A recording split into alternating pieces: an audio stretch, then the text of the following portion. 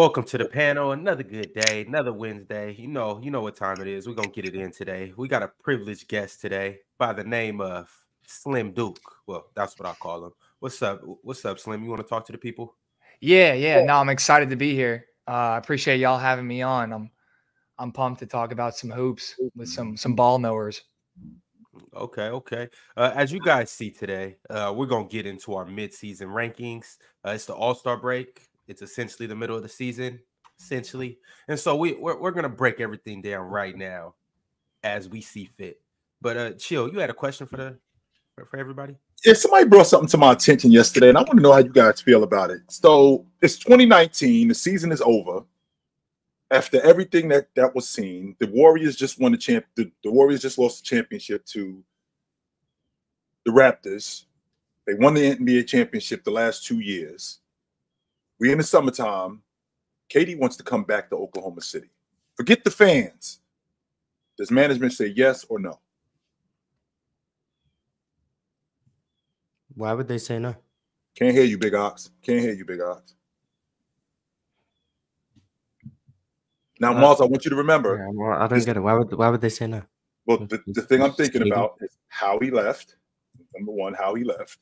Number two, that was the same summer that they traded Russ. Do they trade Russ? Do they come off of him? Number three, who he went to Okay. and how he left there. Am I good? It's? KD. You high. Yeah, we hear you. It's it's Kevin Durant. so it's just an automatic yes. It's KD. Bring him back. It's Kevin Durant. You can't let him set that type of precedence, Morris. I mean, me myself. It's personally, Kevin Durant. I think I think okay, you you we can set up if we can set up our pride and the disrespect aside, if we can set that aside, straight basketball, you're supposed to say yes. If you're the GM, you're the president, you're the owner, you're the fans. If you're talking straight hoop, you're supposed to say yes. I take it too personal. Get the hell out of here. You're not welcome. You're not welcome around here. Like don't don't don't come around here. It's bad. Half the dudes on that crew, Mars, are still. Uh, half the dudes on that crew when he left in 2016 are still on that crew. That's And- disrespectful. If we if we if we moving if we're bringing him back what kind of conversation are we having with everybody else? Is it just "Yep, i don't care kevin's back deal with it. What are we doing with kd what are we doing with russ? Are we telling russ can you and kd work out your differences? Because remember right remember kd went to the golden state warriors who they lost to. So if you look at that crew from 2019 if, if, if, if I'm looking at that crew from 2019, let me. I, I want to make sure that I get my story straight. I don't want to. I don't want to give you guys bad information. That's They- they- and I wanna- I wanna make George, and they had Dennis Schroeder on that team. Steven Adams was still there. Hmm. They lost in the series. They were up against the Warriors, right? They- Yes, they were. yeah, they were up 3 1, yeah. Yeah. And then the 19 Thunder lost to the Blazers. That's where Dame sent them home. But that team had Paul George. Now they it's Russ, KD, and Paul George. Now remember too. Now, now remember too, Mars, which is very important. KD is out for the season, so like we don't get him this season. We get him. We get him the next season. We don't get him the 1920 season. Yeah, so you run it with Russ and Paul George again. And then KD comes back the next year, and you have Russ, Paul George, and KD in Respect 2021. Melo. No, No. Melo was gone. Melo was gone. This is Melo. He This left is 2018. Yeah, Melo was Yeah. only there. He No, was there. Melo- for seven years. He was there. Melo was not there in 18. 19. Melo, Melo was. Was that the year? No. 19 is the year Melo was out of the league, right? Yeah, no, he was. in- He was in Port. He played in Houston for those 10 games. He played in Houston. For Yeah, like and then and then he was out, and then he 15 went to Portland in Portland. and he was 2020 gone. or Correct. 21. Correct. One of those years. Yeah, but this is Russ, Paul George, and KD. You, you running it with them three. That's what you're doing. Mars, you're Yo- not you're not you're not accepting KD, KD back. bro. Are It's they're absolutely Kevin accepting KD back. Yeah, and I'm gonna it's tell you why they're man. accepting KD back. Because we've already seen this happen before. Just like we seen the the big announcement on July 4th in what was that 2016? 16. Mm, Bron, yeah. No, no, no, no, no. Bron's first one. The early, early Miami. one. And then when he came back to Miami, that it would have been a script written straight out of Hollywood that LeBron had. It would have been a sequel, just like it was a Mhm. sequel with him going to uh to the to the uh to the Warriors. Would have been the same thing, a return back home to to bring a championship back to OKC. Now, mind you, Moss in the 1920 season, mind you, Ox, in the 1920 season, uh, they make that they make that trade to get Paul George. because Shai is in Los Angeles. They get they Mhm. Shai, Shai is in Los Angeles. They get Shai and they move off of Paul George. Do they still do that when KD No, no. says that? He, No, no, no. You stay with Paul when, George. so Shai you will get with Paul moved, George. and uh, they're going the Clippers with the Clippers will still try to get Kawhi, and then Kawhi will beg for Jimmy Butler, and then the Clippers will get Jimmy Butler. That's what they're gonna do.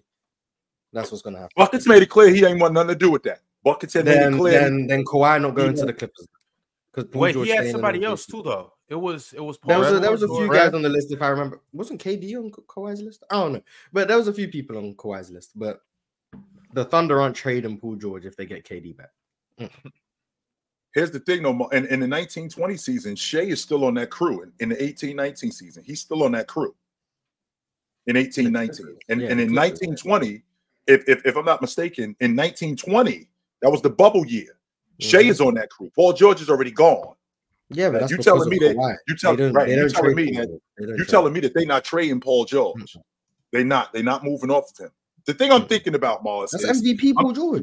MVP Paul George. That's First team all first team all NBA, they first team all defense. 100. percent I'm just this is what I'm thinking about. I'm thinking about how he left. I can appreciate your logic, Mars. It's KD, and I think the only dude on that crew from from the 16th team was Andre Roberson. He was the only one that was left from that crew that lost to Golden State. Everybody else was gone. But with that being said, that must mean that they got to move off Russ too, because Russ got traded that summer. Yeah, for Chris Paul. Russ ends up Russ ends up in Houston, right? Mhm. Russ ends up in Russ ends up in Houston. So KD says he wants to come back to Oklahoma City. Do they welcome him with open arms after everything that he did? Because it's different with James. James is from Ohio. He's from the area. He didn't get he didn't he didn't leave Cleveland to go to to go to Boston. He didn't do that. Keep in mind Oklahoma City's not a big city too. Like it's it's small town vibes. Like they definitely Thank you, loyalty yeah. is a thing. no, Um, no, no, no. Okay, that, like mind. knowing what you. we know now No. is KD. Like it's hard to get over that. You're honestly. OKC. You don't have the right to, to turn down superstars. I'm sorry. That's true You're too. Oklahoma That's City. true. You're not a big enough market to say, sorry, top three player on in the planet. Right. We have morals. No, you don't have the right to do that. You're not the Right. Lakers. You're not the Celtics. You're not the Knicks. You don't have the right to turn down superstars. So if a superstar says they want to join you, forgive and forget. That's what You you, have just to get do. Over have- it. From a from Yes. a business standpoint, yes, you just get over it. KD it. wants to come back. You accept KD back. That's the rules. Does Chill, Russ it's ass a good out? old fashioned American story. I'm I don't, telling I don't you. think I don't see think Russ this all the out. He- I think he thinks he can win with Paul George and KD. So why would he ask That's- out? Now Still maybe tell- the still tell Mars still wants- trade Mars Mars wants OKC to be that chick that keeps getting cheated on and and, and just apologize Come on to and back. say I'm sorry. I'll never do it Come back. again. I love you. I want my family back. Mars wants OKC to be that chick. Chill town. If she we can't better, I mean, she can have some self respect for herself. Mm. I mean, she can't do better than KD. Now, Mars, remember now, now, now, Ox, remember when when Oklahoma City over the last three years, when Oklahoma City played against Golden State, it was ugly. It was ugly between KD and and, and Russ. It was ugly. So now we want to bury the hatchet. I want to come back, yo. I want to. I, I want to fix this. They were just being competitive. They were just going at it. and- Is that all it was? I mean, They're going to be on the same team, and then it's going to be fine. They're going to be teammates. I, Mm. KD, Russ still going third lobs to KD. KD still going to third lobs to Russ. Paul George going to be there doing his little mixtape stuff, and they're going to win. Maybe. Chill. They're not. They're not recruiting him to come back. It's He him. said he wants to come say- back. Right. Yeah, it's He- him he- saying, "I want to come back." Yo, forgive me. I was a bit childish. I wasn't. I, I wasn't as mature as I am right now. I see that I was wrong. I want to Mm. come back home and make amends. I'm I think from a management humbly. perspective, I think from I think from a management perspective, I think that they they they get over that and they go, yes, let's do Yeah, it. especially if you got KD saying that. Like, Yes. like that sentence right there, that would never come out of his mouth. I'm sorry. He's Right. he, he he's too much of just like a I just want to hoop. I don't care Right. uh, type guy. But if he's saying that to me, I'm like, all right, he wants to be here. Let's bring him in. I'd bring him in regardless, but I mean, Yeah. hey, Kevin Durant. Wow. It is Mars. I I I don't want to I don't want to leave out the fact that he was at that point a top three player in the world, but we can't we can't just push to the side how this thing ended, who he went to, the fact that he's sitting out the 1920 season. He's sitting out the whole year. It's not like we're getting him that in the 1920 season. We're not going to have him. This thing between him and Russ. Russ has been the guy that's been the most loyal to the franchise, and we know how loyalty can go sometimes when it comes to franchises, right? We do know that. But at the end of the day, this is about winning, and this is about this is about generating revenue. So if KD says to management, "Yo, I want to come back home. Can we work this out?" I You're think from a forgetting, you're forgetting the curveball. What's the curveball? The curveball is that I, I'm not playing this year, but by the time I'm healthy, y'all need to have Russ out of here and Kyrie here and James Harden on the way. Oh boy. What? I mean, that's what happened to happening Brooklyn. we got we got we got to stick to the script. That's what happened to Brooklyn. Well, Don't- for what? don't no, James Harden DeAndre asked out Jordan. of- James Harden became forget DeAndre available. That wasn't on KD's agenda, but maybe he does ask for Russ to be out, which maybe I don't know. I'm, I'm not. okay, trying So to if that's true, are, you willing to do that, Mars? Are you willing to do that, Morris? for Chris Paul, yeah, I'll do that. Why not? Yeah, Chris Paul for us, Chris Paul, is- Russ and Paul, Chris is Paul, KD and Paul George. Yeah. right now, That's do I think OKC? movement. Do I think Just- OKC would do that? Would they'll pack out Russ to bring back KD? Yeah, that's what I'm saying. Yeah, I don't know about that one. But I don't I don't think KD would be like, hey, if you want me back, you gotta get rid of Russ. I don't think he would do that. But if they were to do that, then okay, maybe OKC would say no. But considering they were willing to trade Russ for Paul um for Chris Paul, who everyone seemed to think was washed at that time, maybe they were off maybe they were off for us anyway. So it's possible. But I'm Uh, not I don't think it wasn't us yet, Mars. That wasn't that wasn't us yet. And I'm trying I to got make. a- I'm, go ahead. I'm I got sorry, a question Rob. for you guys. Um, and Slim, I want to ask you first. So let's say that this hypothetical does happen, and let's say you get KD. Doesn't matter who's at point guard, whether it's Russ, Chris Paul, whatever, and you got Paul George, and let's say that they win a ring in, let's say they win that Bucks ring, and then they turn around and they win that Warriors ring. They go back to back, right? Hmm. And then let's say right now that that crew, that crew is just demolished now, or you know Right. whatever, it's broken up. But you get two rings out of it. Would you guys take those two rings out of it, or would you take right now the position at the Thunder are in? That- that- come on, Huh? I mean, women is the most rings. Would I take Rings. two rings or 27 well, draft I think I think what he's saying is is That- do you- that's the question. Would I with take the- two with what they're rings or building- a bunch of draft picks? well, what, No, no, what no, they're no, no. building right now, there could be more than two rings. Or it could be zero rings. Wait, wait, wait, wait, wait, wait. Hold on, Slim. Slim, you said you said this is about to turn into more than two rings. No, I'm saying it it could, be. it You're, could you're be. taking the the guarantee of like two with Yeah. guys that are s- to like you know mid to late prime, and then eventually going to be in their twilight years within the next five years. Or do you take the ultra hyper young core that the Thunder have right now and and move forward with the question mark? I mean, rings winning NBA championships is freaking hard. So I think anytime you have an opportunity to do that, you you take it. The biggest thing in my brain that's keeping me from saying you you make the alternate uh, universe take is we get robbed of that Chris Paul, Danilo Gallinari, Shai Gilgeous playoff series against the Rockets because that team was so fun and they just live in my brain rent free all the time. The fact that like dilapidated Danilo was averaging 19 a game, Chris Paul went there, looked weird as hell in a Thunder uniform and and balled out, and Shai Gilgeous was becoming Shai Gilgeous. But I mean, rings are rings. I think we could. I mean, you never know. Shai could be the guy that you know, like a like a Charles Barkley, that had an awesome career and just never won a ring. Um, and it's so much more about situation, timing, and all that jazz. But I don't know. I'm if I'm a Thunder fan, I'm like, give me the rings, bro. Give me the the redemption crew of, of bringing KD back, maybe holding on to Russ, and and and two chips is all I need. I'm a Mavs fan. I've been living off of 2011 for the past 13 years, so I'm I'm, I'm taking chips. I don't think that I don't think that Russ stays because I think it's now tricky. I think it gets real tricky with Russ now because Russ isn't the Russ when he left. Remember who Russ is now. Russ is way different. Russ is the league MVP. He already was looking at KD at that time like I'm better than this dude. I'm the I, I should be the man on this team. So he, I think he was already looking at KD like that. So now we, we compound we compound that with winning the league MVP, being the triple double machine that he is, and now you want to bring KD back, and now I have to play, I have to go back to a reduced role when this dude is coming over here with the two championships, being an all pro that he is, and being awesome. So now I got to go back to that reduced role. Plus, they butted heads. They On butted top heads. of that, Yeah, after after he left and he was in Golden State. right? He played So from a management perspective- No, he was the Russ- guy there. Paul George Russ, was. Russ sacrificed shot attempts for Paul George. No, he was still the No, shot didn't. leading. No, he was a shot No, he leading. Yes, uh, didn't. he did. Oh, we're not Mars, about to. did okay, Mars? whatever. Did you watch the playoffs against No, Utah? Paul George I- couldn't. Paul George couldn't make a shot, so Russ started taking more shots. He took all of Generally- them. Right, generally Mars? speaking, and also I'm talking about more about 2019 than 2018. But generally speaking, Russell Westbrook was fine to let Paul George score when Paul George could make shots. But when Paul George is out there going four for 16, Russell Westbrook's gonna take 50 million shots. That's Russell Westbrook. Like, I'm sorry, Russell Westbrook's like, hey, you're not doing your job. I'm gonna take matters into my own hands.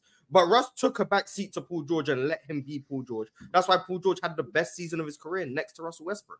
Russell Right. Westbrook is fine deferring to people. I think maybe he struggled with that earlier on in his career, sure Right. but he grew. He developed. I'm. I don't. I don't like. When did he take? So he took a back seat to Paul George the next year in 19.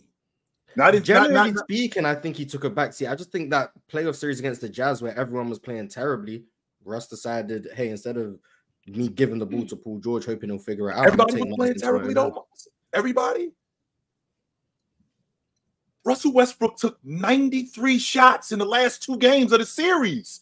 How is no anybody could- supposed to get no going? Because right, how, how I'm not saying it was a good supposed to take shot decision. I'm, I'm not saying he. I'm not saying he made a good decision. I'm just saying I understand the thought process of hey, no one else is really doing anything. I'm, I'm gonna take some shots. No, all the shots, not some shots. I'm and I'm, take all to be fair, it worked. It worked in one of the games they won, and I think in I might be wrong because I'm this series is what five, six years ago.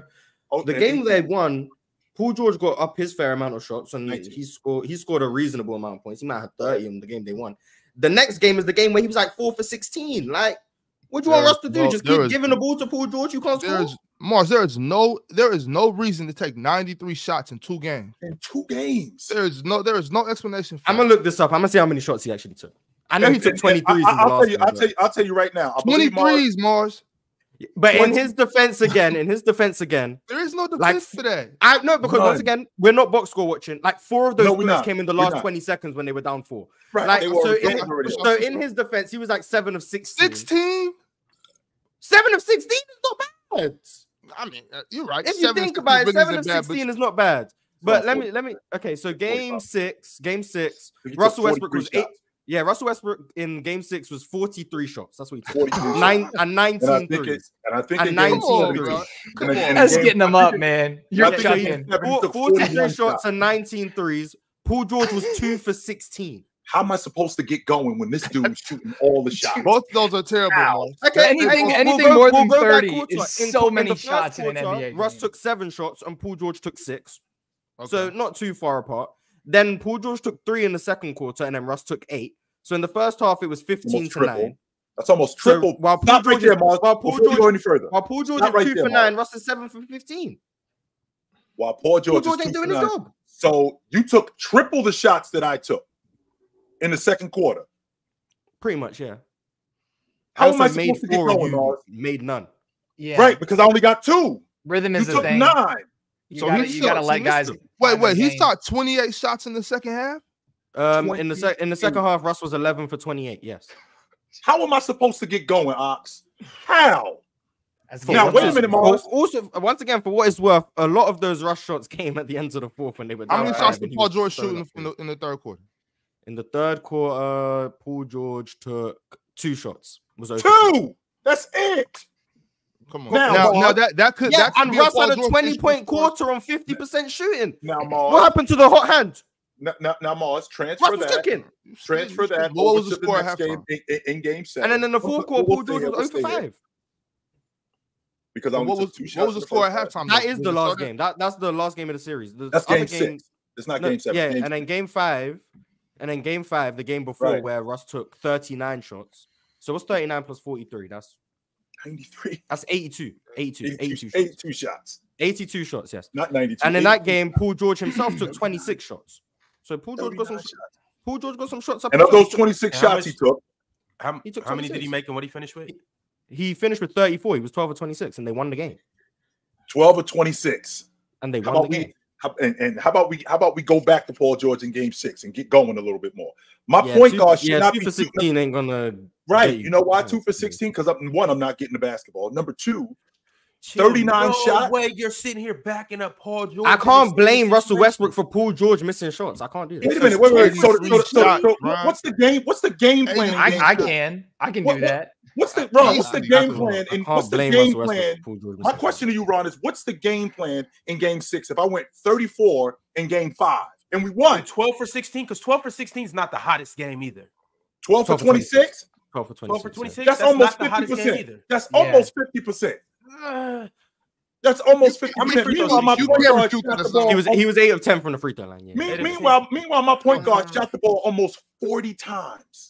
And this is this is game game five or game six. That's Game game, five. five. that they And won. yes, That's game I five am that they box won. watching right now, but because it was six years ago, but I did watch the game and I watched Russ come down six straight trips and shoot the basketball. I did see that. How am I supposed to get involved if I'm Paul George, if Russell Westbrook, my lead guard, comes down six straight trips and shoots the basketball? What are we talking about here? How? I, I, I, I get it, but also too, Russell Westbrook is still Russell Westbrook at this moment. Yes, he time. is. Yes, he Right, is. This, this is not Russell Westbrook when he's got on the Lakers crew. This is this is still Russell Westbrook. So Russell Westbrook got carte blanche to do that. But at the It- same time, Why? the responsibility of a point guard is is, is to get your guys involved, especially a guy as good as freaking Paul George. There's no reason on any team, whether it's 10 years ago or now, that Paul George should be taking two shots in a quarter. Slim, I'm shoving the ball down your throat. You got pause. Pause. I'm shoving the ball down your throat. Mars. No, stay with me. Stay with me. Seriously, Mars. stay with me. Stay with me. Keep I going. that's Keep wild. going. I know All right, I'm here. Any bets? I know that's wild. I'm gonna be an but adult. We're here. Stay We're with here. me. We're I said pause, Mars. I'll pause it again. But stay with me. You shot 16 shots and made this many. Look, my son is pissed right now because he shot 16 shots and made this many, but I'm supposed to keep giving you the ball. Yeah. Yes. Oh, so what? Until you go Yes. four for four for 32? yes. Yes. Yes. All of Yes. Us. Yes. So wait, wait, wait, wait, wait, wait, wait. You're Wait, telling I- Russell here's- Westbrook. I, You're I don't telling understand. I, wait, Westbrook. I don't understand. A- a Wait, so because so because Russell. West, so because Russell Westbrook's a point guard, it's his job to give the ball to his teammates no, no, matter it's how it's much his Because- no, ball. because it's, this no, is- here- Go ahead, it- go ahead, it's go his it's his job to put his teammate in a situation to get himself going. Not just hey, here's the ball, it's your turn to to ISO. It's like okay, well even even being like hey coach, we got to get PG going. We got to we got to have him coming off some sort of action here to get him a look because he's not playing well. I can't I can't come down the court and shoot the ball every single time. Six I straight can't- trips. Six Yeah. straight trips. Especially that's if you wrong, don't Russell Russell Westbrook can do that. Because it's Russell Russell Westbrook Westbrook. My, my thing, my thing is for Russ. If if uh, our coach, if I'm coach and I got Russ here and PG here, if somebody's gonna, if somebody got to shoot 43 shots, it's not gonna be you, Russ. That's that's my thing. I don't want no, I don't want anybody shooting 43 shots. But if somebody's gonna do it, I got PG, I got Russ. PG's gonna do it. That's what I'm that saying. And Russ and Russ, but Russ should know this already. Like, and then on top of that, y'all, y'all see this was just the start of something. Because when Russ got down there with James Harden in Houston, it was more of this. Him and James, him and James Harden doing straight tour dates together. together. Yeah, that was that was a game that was just James Harden had like 50 and shot like 20% from the field or something. And Russ had a Oh, that- it was I can't I could find the box Remember, for the game. It was disgusting. Isn't but that think the I one remember Russ? that I think Russ had a triple double, but he shot he shot like three for 21. It was Russ had a Russ had an inefficient triple double. James Harden had like 50 on terrible shooting, but got his free throws. It's like I could find the box score for the game. It is it's That was interesting, I'll say embarrassing. that. That was So, embarrassing. So, was so with that Yeah, I think said, after Russ- that game, he was like, "We sucked, but we won." In like the the encore post game interview, I remember that, John. So now we want to add. So now we want to add Kevin Durant to this Russell Westbrook mix. That's what we want to do. We want to add Kevin Durant to this Russell Westbrook mix, who's now the league MVP. He's been a triple double machine. Who is now the man who already thinks that he's better than Kevin Durant as it is. Who already thinks that. And you saw what he did in the playoffs. So now we want to add Kevin Durant back to this. How does this go over between those two guys? It doesn't. I think you Chill, got to put had- faith. They had good chemistry together. Like we're Yeah, not but they they were they did not act like each other. Ru- Russ got scapegoated so bad in this whole situation. Do we forget? Facts. We we forget. We forget. Russ had multiple 10 assist seasons next to Kevin Durant. Russ had the league in multiple seasons. He had mm-hmm. multiple seasons where he took the backseat to Kevin Durant, contrary to mm-hmm. popular belief, because he would shoot Yes. shots that people would thought was erratic. Don't forget the season Kevin Durant got injured. Russell Westbrook led the league in scoring. Oh, we all forget that. He, he, was, he led the league in scoring at 28. Kevin Durant comes back. Russell Westbrook takes four less shots a game, and he goes from averaging 28 leading the league in scoring to averaging 23. What is that doing? What does that That's- say I about mean, that's Russ? that's not that's not really taking a that's not really taking a step back when Kevin Durant shows up and then you shoot a couple less shots. That's what's going to happen when you have another when you got a superstar scorer on your team. That doesn't mean I'm taking a step back. That just means I didn't get the ball that time because Right. KD had it. like that, Right. That so doesn't- the fact that doesn't that, take so, so, so the fact so, so the I'm- fact that, there's there's no way we're blaming. Are we trying to blame Russell Westbrook for why KD left? Is that what we're trying to do? no. Oh, no, that's No, not what no, I was no, no. doing, but I can. No. We could we could go that route. I, I think like Go that if if you were to bring him back into that mix, um, because I think we see like what happened with Russ now, and and also what's happening with James Harden is that they're entering that that stage of their career where winning is truly the most important thing to them. It's less about ego. It's less about am I going to get my numbers because those guys are really their their NBA awards days are, are over with. But you're saying can they can they go through that metamorphosis together in OKC like him and Russ and KD? And I think if you're an organization, you have to take the chance because it's it's Kevin Durant. It's Right. possibly the greatest NBA scorer of all time. Right. Um, but I think there's a big chance that it blows up in your face. Or in your face, you just That's have to be I'm okay thinking. with it. That's what I'm thinking. Because can KD and Russ get past their differences? And to Ron's point, I mean, the fact that Russell Westbrook that next year he leads the league in scoring, right? So wouldn't that compound how Russ really feels? Like, I don't need this dude. What is he here for? And then to Mars's point, when you talk about, well, we'll pack Russ up. Well, we could have packed Russ up two years ago then. Then what did I leave for in the first place? Why am I here? Why did I come back here to pack him up? Because the crew that I was on back then was probably the best opportunity that we had to win it. So now I'm going to come back and I'm going to pack him up now when he's done all of this and management is going to be okay with that? When he stayed and I'm the one who left?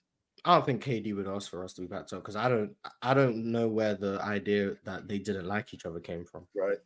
I, there was never until KD left. There was nothing to be said about they didn't get along with each other. There was it was the opposite. It was they were best friends. That's what it was. I mean, I could point to KD's MVP speech, but I don't really want to do that. But like, there was nothing. There was no even slight rumors or inclinations that they were anything less than good friends when they played together. And then, um, I mean, KD said on his own burner account, it had nothing to do with Russ. It was the fact that what was around them was a lack of shooting and skill. And it was just a bunch of athletes who couldn't really do much. That was his problem with OKC. Not, um, Billy Donovan wasn't great in his opinion. So it had nothing to do with Russ. He's KD said that himself while pretending to not be himself. I think burner KD is the truest form of KD you can find. So I think KD said himself he had no problem with Russ. So I don't, I don't know why we're reaching to say it was Russ. It was anything to do with Russ. I think he loved playing with Russ. So I don't think he would ask for Russ to be gone because Russ is what the second best point guard he's played with. Best depends on who you talk to. Well, yeah, maybe. So yeah, shout out to Russ, man, underrated. But I found the game where K- James Harden had 50 and Russ had the triple double. it was a game against it was a game against the Spurs. They actually lost the game, 133 to 135. James Harden had 50 points on 11 of 37 shooting. Garbage. Wait, wait, and four for 20 from three. Garbage. But had his 24, Oh. but had 24 free throws, 24 or 24. And then Russell Westbrook had his 24, 19. yeah, 24 or 24. Russell Westbrook had Oh. 19 points, 10 rebounds, and 10 assists with five turnovers while going seven of 30 from the field. Yo, that is the. But I wanna throw something knowing at the Russell Westbrook. James Harden duo. I want to throw something Both- right now. Both of them at their worst, it's the epitome of it right there. Now, Oh. obviously, at their Terrible. best, Uh, 2K those two are statistics, bro.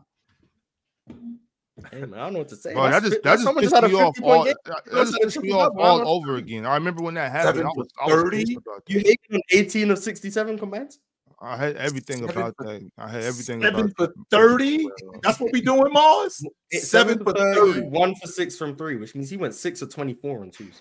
My God. He had 19. yes. And He he fouled shot- out. And he He shot 30. He shot 30 shots at 19 points. Yeah. Brax, that is indeed the most unethical game Russell of all off the floor. time. Get Russell. Ever. I might actually, I might actually watch that game tonight just to. Get Yeah, they should have. They for real should have been kicked out the league that night. Like, nah, Russell, Westbrook, could've fouled. Russell Westbrook fouled out in that game too. They By the way. they just they disrespected the game that night. That was the most disrespectful thing I've seen ever. Shout out to Lonnie Walker coming off the bench and having 28 in that game. for the Spurs. Somebody Yeah, had yeah, to yeah. score. Yeah, shout out to him. I mean, Lonnie Walker seems to have won The the hell? game. He played. Who else? Lonnie Clearly Walker them played. Who else was on that Spurs team? What what, Uh, what that's era DeMar Spurs is? DeRozan. DeMar DeRozan was Ah. nine for Shout out to Murray. 25 in that game himself. Bryn Forbes had a nice little 10 or 13 Bryn. performance with 25 points. The Gatling Um, gun. Derrick White, Jakob Poeltl, Rudy Gay, Patty Mills, Trey Shout out, Lyles, Rudy. Dejon, Dejounte Murray. Um, I think this is post ACL tear, but off the bench. DeMarre Carroll, Drew Eubanks. DeMarre Carroll. Haven't heard that name in a long time. You know, on the Lakers coaching stuff. But yeah, there we go. Shout out to that. I'm gonna, I'm gonna watch this game tonight. I'm gonna watch this game tonight. All right, y'all. This is a good time to tell everybody in the crowd to go ahead and slap that like button. Appreciate everybody that's tapped in right now. Um, we love you guys more than words can express. Uh, shout out everybody in the comment section. Y'all really holding it down as always. If you haven't got a chance to, go tap into www.pcplayerschoicemerch.com. Go check it out. It's right there in the bottom right corner. Also, today on Playback, we got a new crew on Playback with a new scheme and a new show. They'll be pushing agendas. It's actually called Pushing Agendas. Mm. And you know who is the head of this whole agenda pushing crew. None other than Dub. It, it wouldn't be a pushing agendas type of type of show without Dub. So it's gonna be Dub, Seven, a couple other guys. You guys make sure to go check it out and check out what agendas they'll actually be pushing. I have no clue what it's gonna be, but I know it's gonna be nasty and entertaining. So y'all be sure to tap in. That actually comes on at right after this. Said uh yeah, right after this. So go go check that out. Um, we got a couple super chats as well. Let's go ahead and dive into it. Sean Kane wants to know: Is that Ted Lasso? It's me No in the shot. flash. Sean, it's I've got Ted or Lasso, Slim uh, Commissioner Gordon before. Uh, yeah, it's the only facial hair I can grow out, just right here for whatever I'm reason. sorry. I'm out the loop. Who is Ted Lasso? Some It's, sort of uh, show, right? About football. Yeah, TV show character. You Google Real him. He's just got a big mustache. That's it. All right. RJ the God said, if KD never left OKC, would he eventually have won a chip with them? What do you guys think? Very, very possible. Very possible. I mean, it depends on what happens around the league. I don't know. Yeah, I The see. Warriors, I see, yeah. the Warriors could have afforded to sign any max contract level player. So I'm gonna just go on a limb and say yes. yeah. I think. I think mean, it's they came close a few times. Yeah, I think it's possible. Drake Bayless said, if KD never went to Golden State and won, goes to Brooklyn and Phoenix and doesn't win, is there any argument for Russ being greater than KD?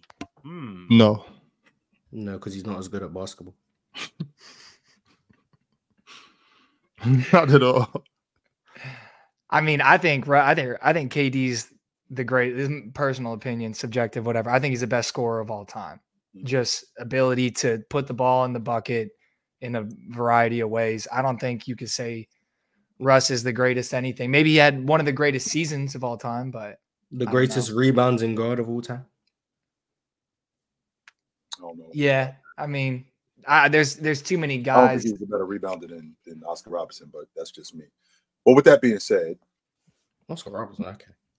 Now, Mars, if I'm not mistaken, I know how you feel about being better at basketball. What is Russell Westbrook better at in terms of a basketball player than Kevin Durant? Oh, oh, um, okay. He's a better playmaker than KD, like tenfold. Like he's way better than KD at playmaking. He creates for his teammates at a rate I don't think I've ever seen. So playmaking, I think he's better. Um, I mean, he's a better ball handler than KD, but I mean, that's by virtue of being much smaller. And I wouldn't call Russ a great ball handler himself, but he's better than KD at it. Um, and he's a better rebounder than KD is for sure. Um, Yes. I'll say I'll say he's better in transition, but KD like before the Achilles tear was a monster in transition himself. So I will say I will say Russ is better in transition, but KD filling the lanes in transition or going coast to coast himself, pretty good. But so, So- playmaker, he's a And, better and passer. that too. and that transition jumper too, man. Uh, yeah, yeah, he the transition like KD in pull up. transition was Who's transition? Who, who's transition jumper? KD or Russ's transition jump shot? KD. Okay. KD. Okay. Russ had his Russ had his little elbow pull up that he could get to, but Yeah, was- he he got did. that. He got that pull up. He do. But so passing, playmaking, rebounding, and he's a better transition player, and I'll say he's a better ball handler. But KD is still the substantially better player because.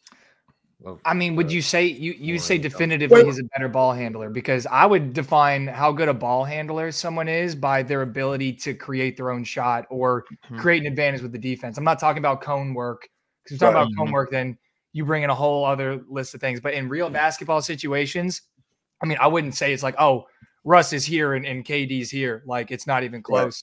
Um, I think they're both good at you know creating separation, getting downhill based off of their their handle. But I don't know. There's too many things that are too close there for me to say that Russ is just definitively better. So Yeah, Mars, even even, with Russ, even with Russ, Russ, like Russ, dribble- Russ dribbles in a crowd way better than KD is because he's closer to the ground.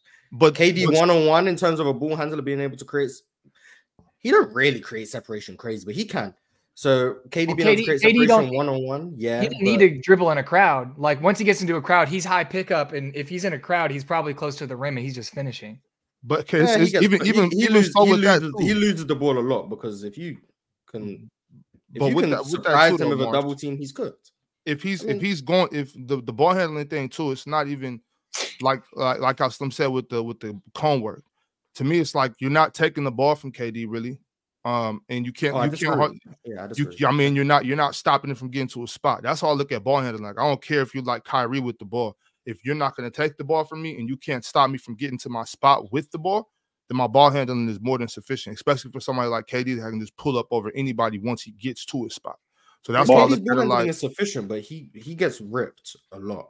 Like I don't, I mm, don't know. some. Maybe maybe What maybe about- watching highlights or so- I don't know. KD gets ripped. so from so from everything that you just told me, Mars, on the offensive side of the basketball, it sounds to me like the only thing that KD does better than Russ is put the ball in the bucket. So how about we get on the other side of the basketball? Uh, uh, how- how- about He, the he shoot, well, KD ho- better. hold up though. He he he shoots. Well, yeah, too. if you want to, if you want to just say like he's a better scorer, like I mean, there's facets to scoring that is why Right. KD is so He- he's- he's got a better mid-range game than Russ, 100. percent I'll definitely a million folds. He's a better he- three. about He's just a better million, million like, scorer. He shoot the, He's shoot the long so ball he's better than so much better not than close. Russ in It's scoring not close.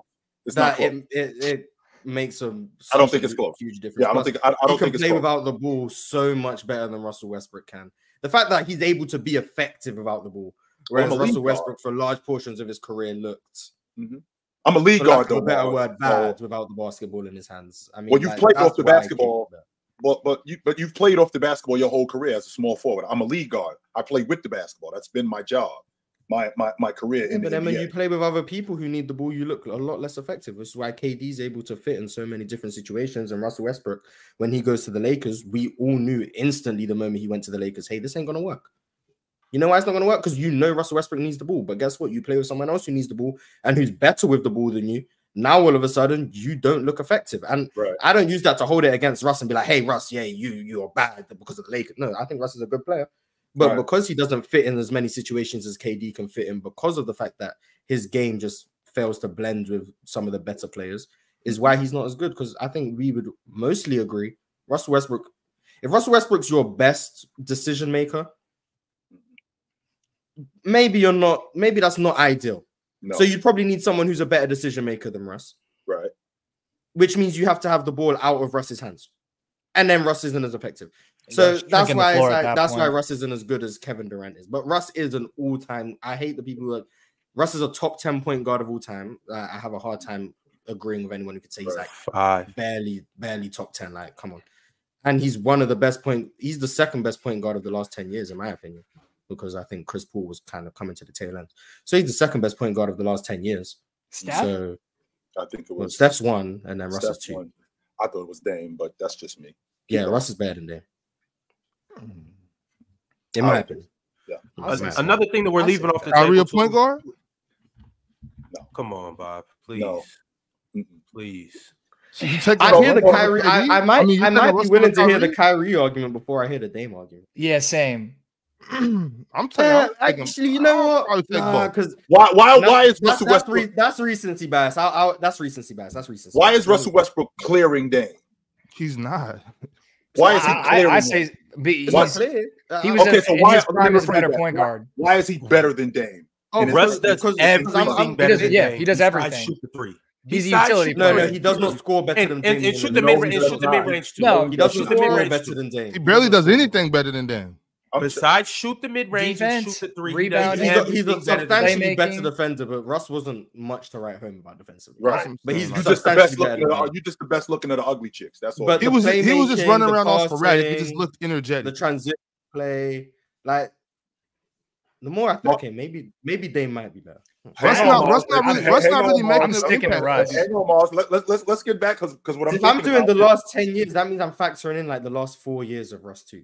That we, we Huh? can't just we, we can't just leave Like, out and if I if you're if you're telling me like 2014 to like 2020, right. sure. But Oh, the I thought last we were just four years about, of like, Russ are primes. also in the last four Right. years. No, last ten years. The last Okay, 10 years. so so yeah, uh, so, also in the last 10 years, and that's like nearly half of the time, and he hasn't been great in the last four years. So we're talking Yeah. about so we're so we're Okay. talking about a bucket. So we're talking about a bucket getter. I think Russ is better in transition, and I think Russ might. I think Russ is a little bit better at the rim and finishing over Mhm. big guys. I'll, I'll give you that, Moss. I think that Dame's stop and pop game is better. I think Dame's sure. long ball is. I think his long ball is better. For Now when we talk. Now when we're talking about a scorer. I mean, I've seen Dame, uh, and, and we're talking about a distributor. I've seen Dame seven, eight, seven, eight dimes a game. I've seen him do that. I've seen him get into the teeth of the defense and get off the basketball when necessary because his decision making is better than Russ's. Not only that, I've seen him do it in more crucial times than Russ has done it. I've seen Russ in Boston throw the ball in the second row when when we're in the meat and potatoes of the game, as opposed to Damian Lillard, who I'd much rather have him shooting than passing the ball, as opposed to Russ. With all of that being said, I'm thinking about what these two guys do the best. What does Russ do at what does Russ do the best? Russ is probably the best at what? Scoring? the best, what his best attribute or What, what, what is Russ's best attribute? playmaking? Okay, so his best play. So and when we and again, Mars, I think you and I are on the same page about playmaking. Playmaking doesn't just just mean that you're a passer. Playmaking uh-huh. means a whole bunch of other things: getting to the basket, passing the basketball, being on the having gravity. Yeah. Right. I I, I I mm-hmm. can definitely get with that logic. But when I think about what Damian Lillard's best attribute is and what it contributes to them winning, I think that after Steph Curry, I think he's the second best point guard of this generation. Okay, because when I said it, for some reason I blanked out like what Russ looked like in. Washington. It and- happens. He didn't have a ter- he wasn't awful in Washington. He, No, he wasn't Would he terrible. average a triple double? I mean, yeah, shout out to the triple double, but that's why I say the box score is deceiving. But I mean, that's fair. so I want to, I want to say That's when I bad. when I made that claim, I was thinking of like 2010s Russ. Mhm. Yeah, I thought we So were I comparing get- I get- primes. In order to amend the claim, I think in the 2010s, but then I would have Chris Paul over Russ. So I think Russ is the third best point guard of the 2010s. That's what that's why I'm going to amend the statement. I think in the 2010s, Russ was better than Dame. Now, when you start factoring in the last four seasons that happened in the 2010 2020s, sure, over the last 10 years from 24 to what would that be? 14. I guess maybe I'd probably take Dame. But 2010s, I would take Russ over Dame. and that, and, and that's that's when so 2014 to now. I mean, Dame showed up in what 2011. He showed up with Irv, didn't he? How many years? Let me count 10 seasons. He showed up a year two, after. three, So he- he showed up Remember the they year both, they both got rookie of the year. eight. Remember? So 11. Okay, so he showed up. So the last 10 11, 12. seasons is the 14 15 season to now. Yep. In that he time did that. frame, I'm willing to I'd, I'd be willing to say Dame. I think That's when he was becoming Dame. yeah. Now, that- from that- that time frame, I'd be willing to say Dame. Although I do still think it's a conversation. I'm not saying it's just clearly Dame. Right. But in the 2010s, I'm taking Russ. But I think the be- clear at their best, who's the better player? Like That's what I'm peak trying to version get of. Russ.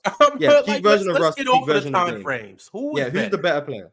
And, and I want to do a start bench cut at their prime. Russ, CP, and Dame.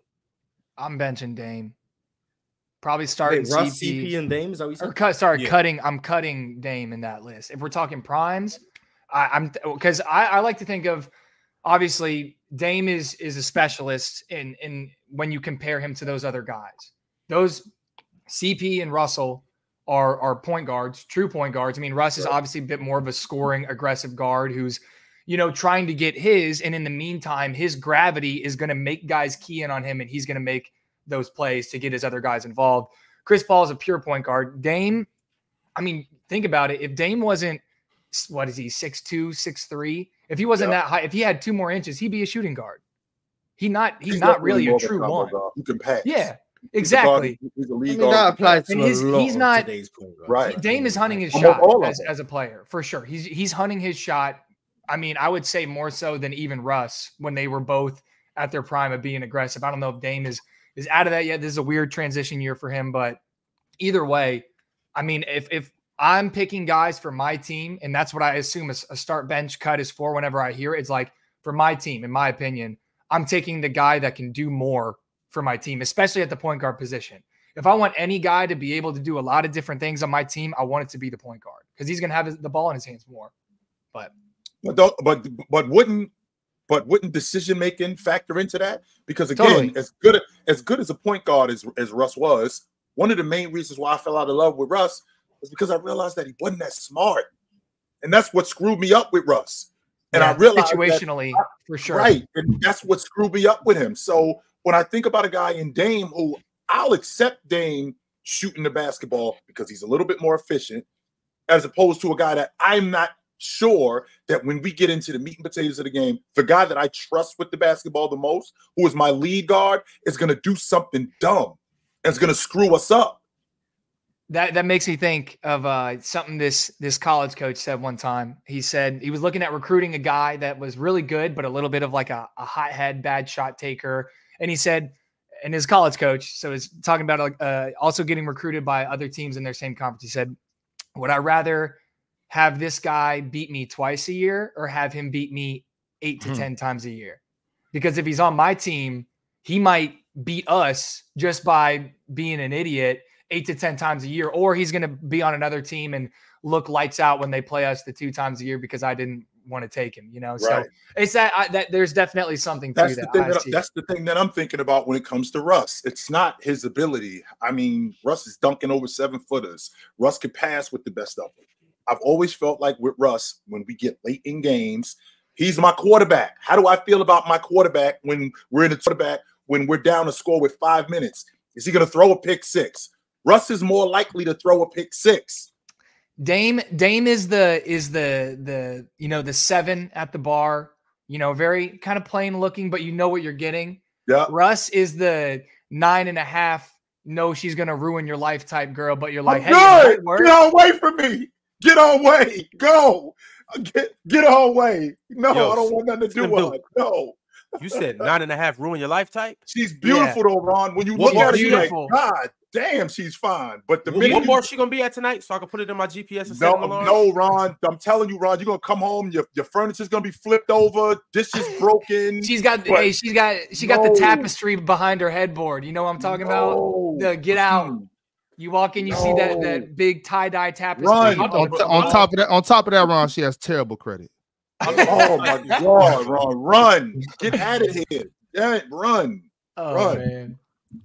Yeah, so is everyone starting said, Chris Paul except Ron? Because I know Ron not starting Chris Yeah, Paul. yeah, yeah. yeah. Not a not a prayer. Okay. Well, let's let, let's let's go around the room. So, Slim, can I get your uh your star bench cut one more time? I, I'm I'm sticking I'm sticking to my guns here. I hear your argument, chill, but I'm I'm sticking to I'm a start CP bench Russ cut Dame. I'm I'm going with the firecracker. All right, Mars. Um.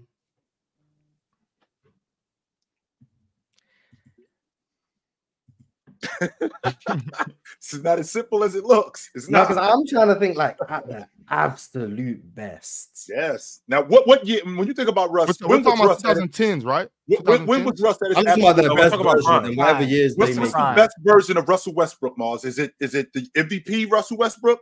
Was it Like 15 Russell Westbrook? 2017, like- like that. so so 15 to 17? That's that's the best Russell Westbrook. All right, I'm bro. trying Hey, that think, MVP could I, year could I, could I make could I make the case that that Russ was better than Chris Paul was?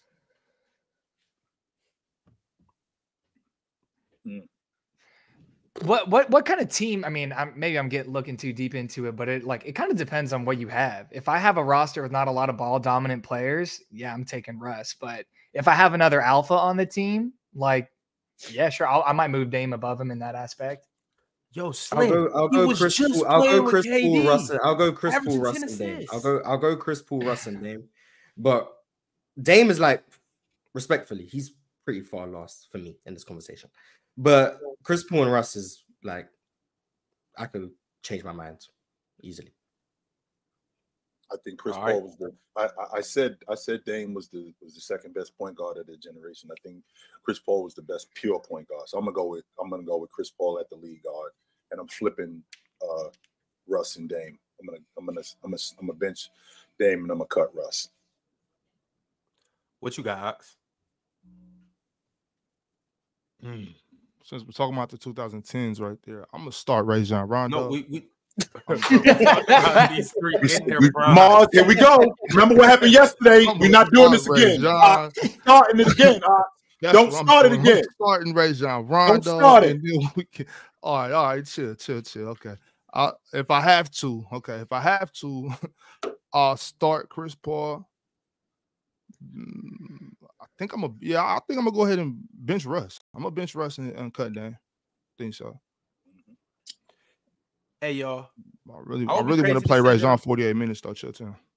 what's crazier to say that um a starting Russell Westbrook or B cutting Chris Paul?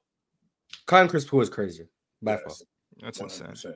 That's because I, I I I think Dame and Kyrie is a closer conversation than Dame and Russ or Chris Paul.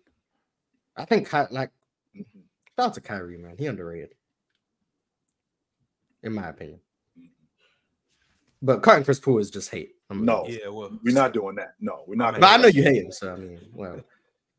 I'm a hater. Chris Paul out of here. Damn coming off the bench. I'm saying though, Ron, can we can't we start Rajon bench Kyrie? No, we can't. No, we Okay, can't. we, we, can, we can start. no, we can start. can't. Raise, we can start Rajon No, and bench Greivis Vasquez. No, no, we can't. let me, no. let me bench. Let me No, let me can't. bench Ron, Greivis. send this dude to hell. We had to deal with the King and Murray logic yesterday. You saw what Let me happened. Let me bench Grie- Greivis. Here we go again. No, Greivis Vasquez was tough. Yeah. I heard Let that me- let me- conversation. let me Greivis play Vasquez- Hey, Was- Let me play was New Greivis Orleans over- fans I'm- hate that man. Was I, I got Greivis Vasquez. Was Greivis Vasquez better than Tyler Herro? All I know, shit town is I'm pl- I'm playing Yeah, Greivis 12 minutes and Zay Rajon 36. I The guess. other dudes can get out of here. But hold on, Slim. Greivis Why getting 12 minutes. Why, why do why do New Orleans fans hate Greivis Vasquez? Hey, I just I, I live down here. I live uh in, in like southern Alabama. Um, and I got a lot of buddies in New Orleans, and they they hate that man. They just I mean, they hate him. They hate Solomon Hill. They hate Solomon Hill more than anyone, bro. Mm. Don't talk to a Pelicans I fan about why. Solomon know Hill. Yeah. Mr. Mr. Cardio. But uh but yeah, all I know is that every Pelicans fan I ever talked to be like, oh yeah, I remember playing with like Greivis Vasquez in 2K12. And they're like, don't say his name. It's like Voldemort, bro. Don't don't talk about him.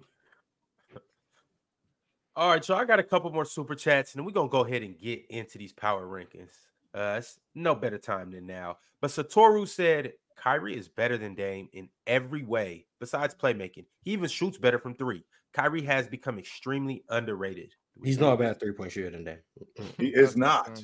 I don't know where you get that from. No, he is It's, not. it's the percentages. It's because of the That's percentages. just because of the percentage. Yeah, Sure. box percentages. We're talking But I about, mean, we're Dame talking is- about box score. No, he's better off the bounce than Kyrie Irving. Yes, he's better in transition than Kyrie Irving at the long ball line. One hundred percent. He's not a better three point shooter than Well, I think, I, No, I think that might I think that might be the only thing he's better at Kyrie than is that three ball. Other than that, I got Kyrie in everything. That, that was a, that's. That's that's a quick statement. I'm not trying, you know, going into Kyrie a better far. Kyrie Kyrie a I better got scorer than Kyrie. Dame.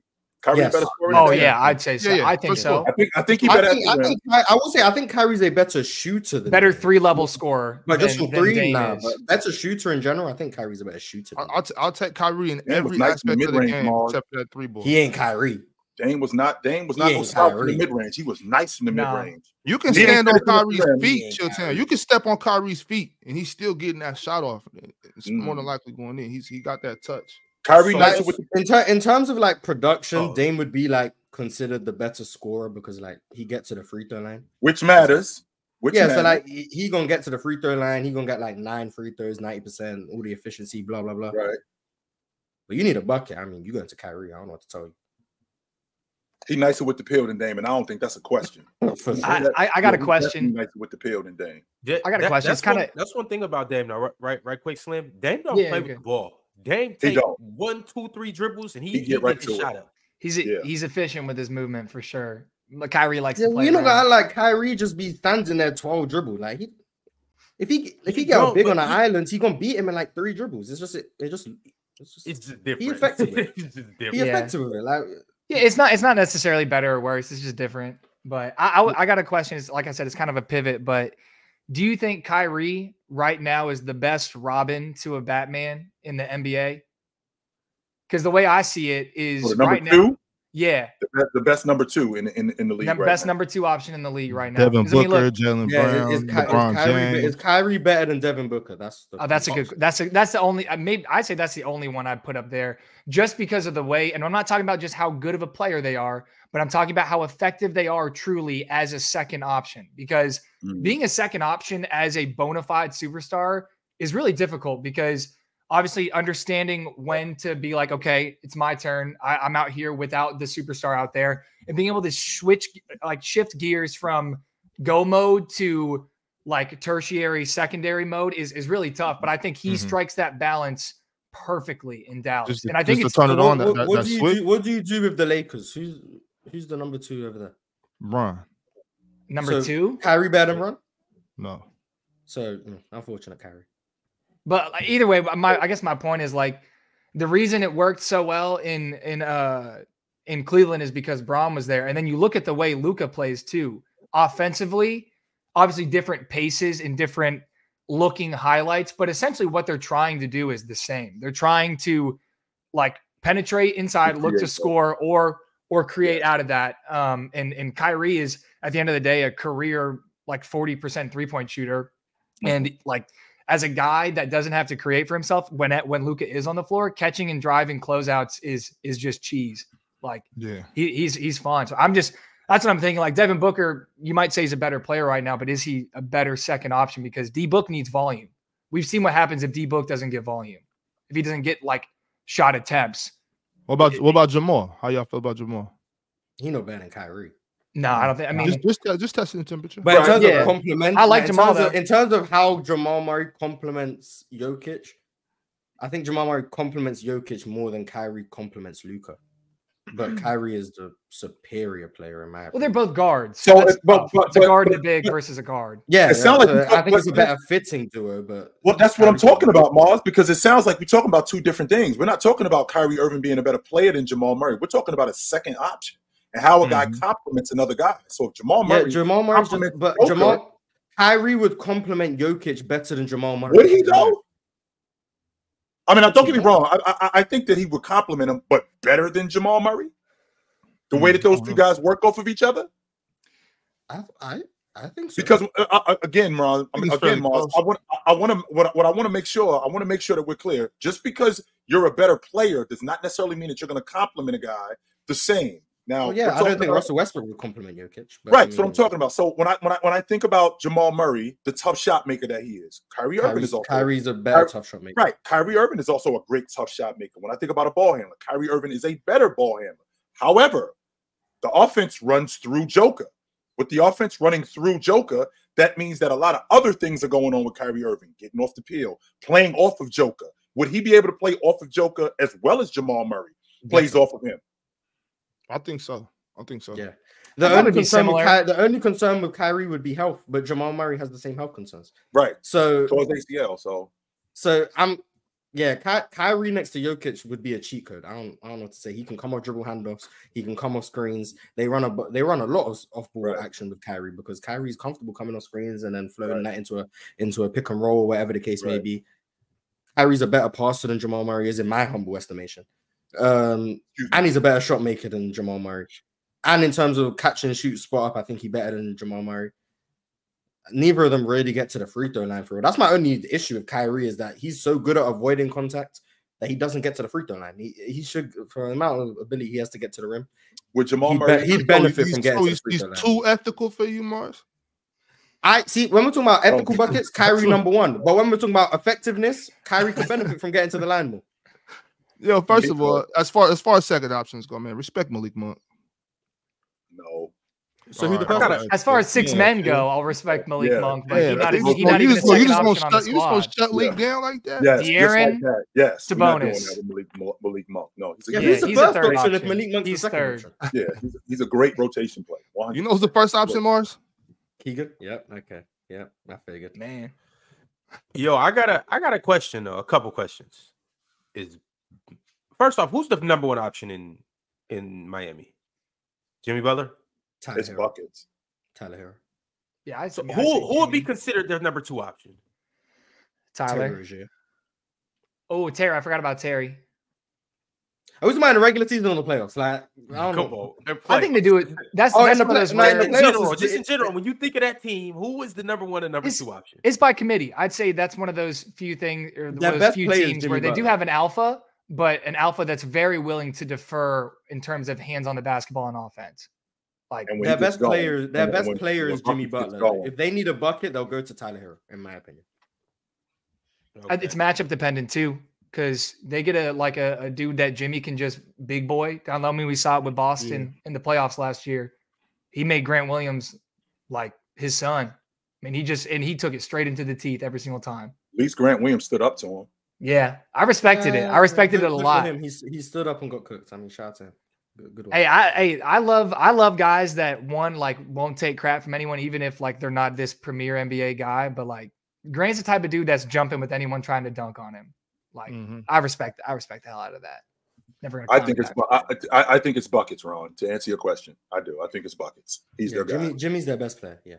Yep. So then my other question is, um, where everybody up here is just comfortable saying that Devin Booker is the number two option for the Suns?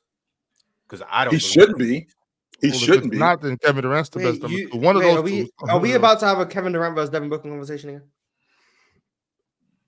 I'm at, between who's their Mars, one when- two option? I think it's KD. Once again, Mars, we're talking about the better player.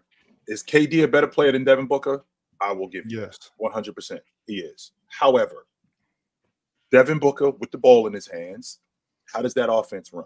Should they be running the offense? Should, should Devin Booker be their man and KD be the number two? Should that be the case? Because I because the same thing is going on in Los Angeles with It's- Anthony it- Davis.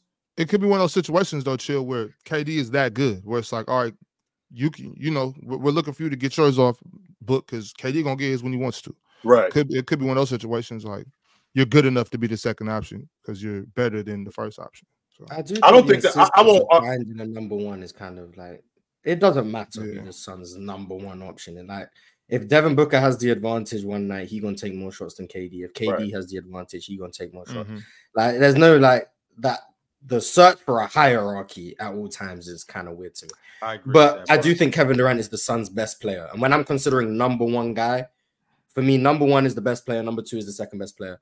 Now, if you want to say if they need a bucket, who do they go to? It's whoever has the matchup in that situation. Hmm. That, that's where I'm at with it. And that's We could when I said Tyler thing. Herro and Terry Rozier, semi trolling, but that's not my troll for the week. Just semi trolling. But their best their best player is Kevin Durant. So that's where I'm at. I mean, if and, and, and again, sure, because if we're doing that, James was the best player on that championship team in 16. I think Kyrie Irving took more shots than Irv. I mean, then then then Bron did that year. It, it was either that year or the next year. He took more shots than James. But with that being said, I think James was the was the number one, but he did defer to Kyrie Irving when it was necessary. He had the ball in his hands more throughout those series for sure. LeBron, It- yeah, it- I mean, it would have Right. surprised me if Kyrie took more shots, but I mean, Yeah, he did. But that also goes back to because Kyrie doesn't get to the free throw line enough.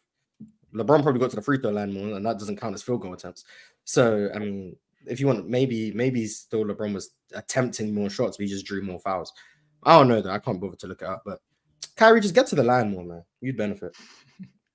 That's what Kyrie. If you're watching this, draw some contact. He's got Hall of Fame slithery, bro. He's not getting touched. But he needs Hall of Fame fearless finisher too. He needs to be able to. If he, if Kyrie got to the line eight nine times a game, he'd average Right. thirty like every year. I mean, he's too good at like you, he contorts his body so much in the air to avoid contact for sure.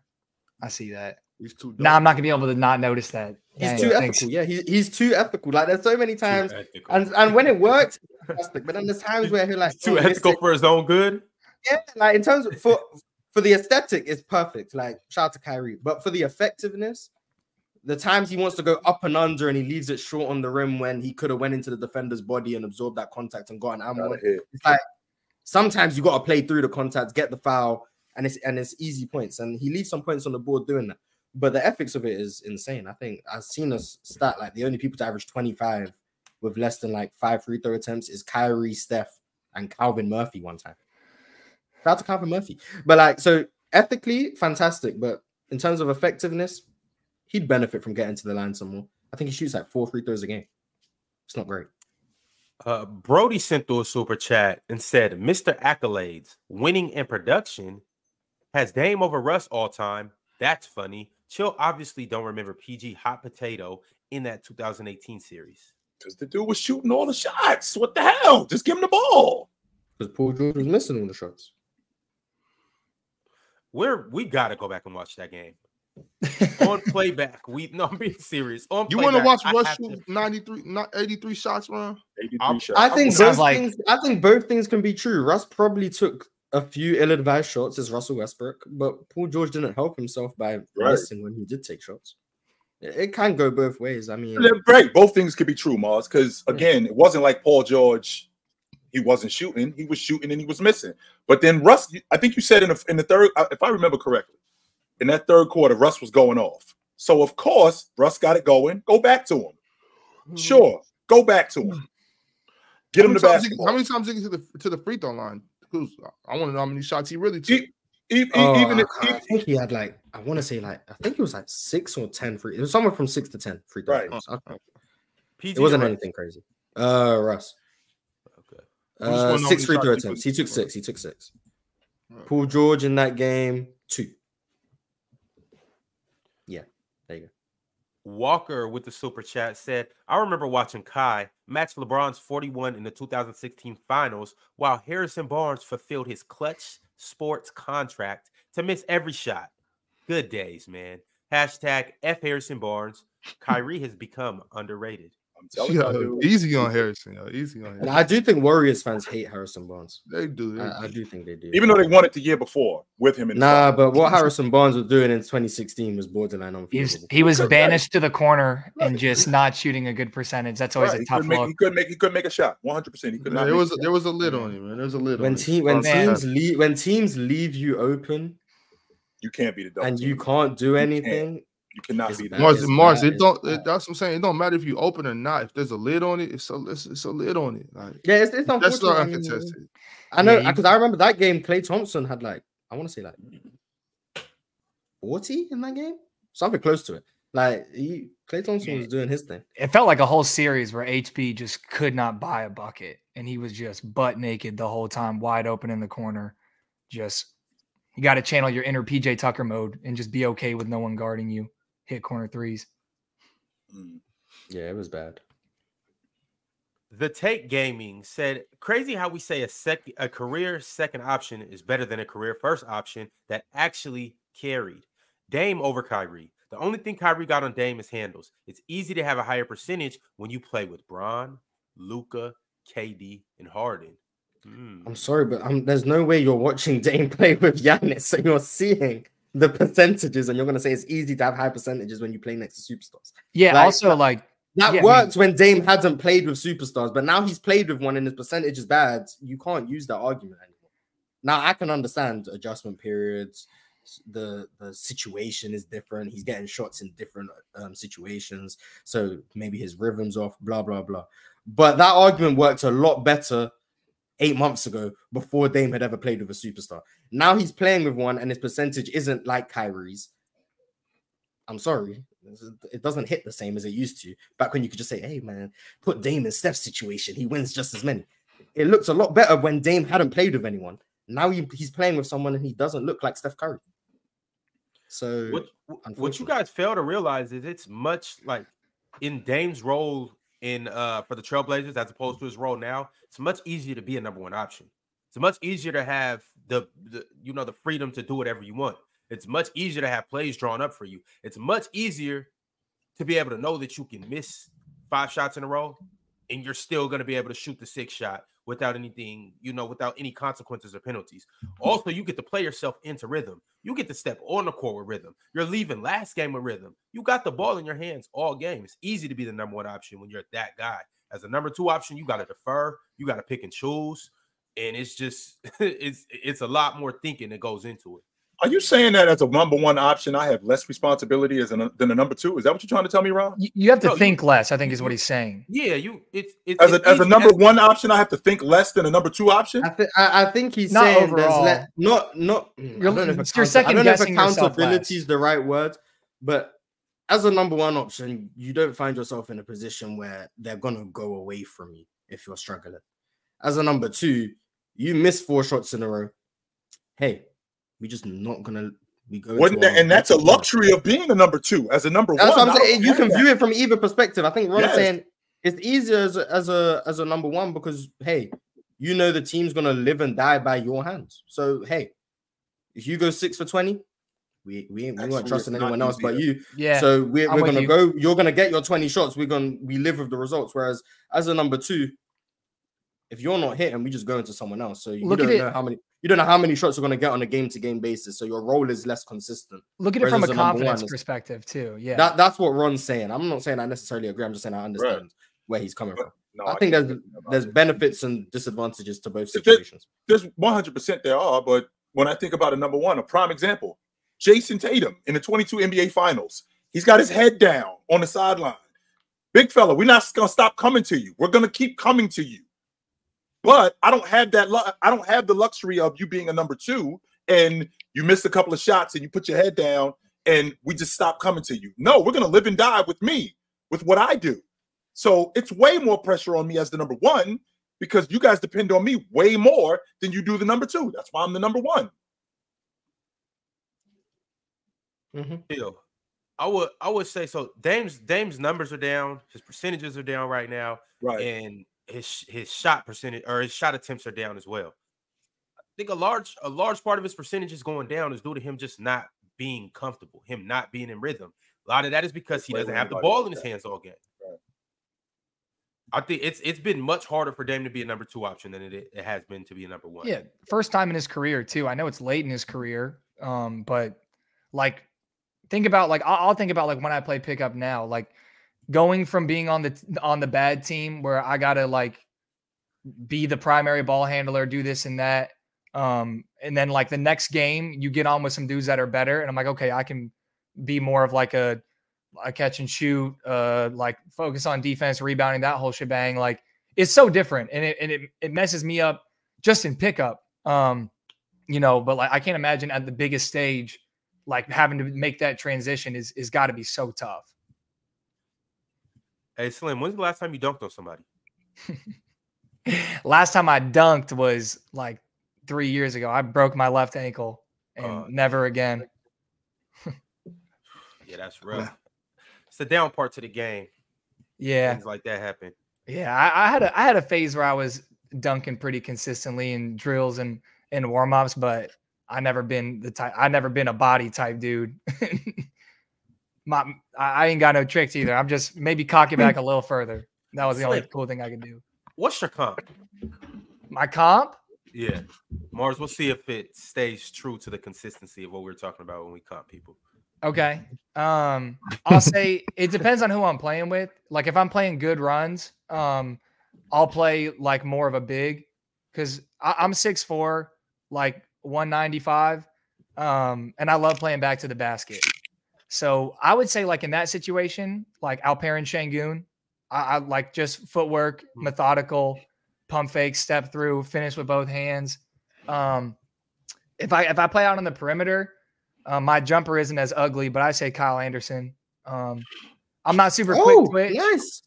Yeah, I'm not. I, I'm not super quick twitch uh, or anything, and I'm, I'm I'm not a flashy ball handler, but I use a lot of just like subtle hezzies, half spins, um, just kind of like essentially meandering on down to the rim at my own pace. uh, So you stuff can like that. Yeah, both of those yeah, dudes can are- can- Yeah, can I. I I love passing out of the post. I love it when people Laker cut off of a post feed, that kind of thing. Hey, Slim, you sound like I somebody I could Anderson partially black.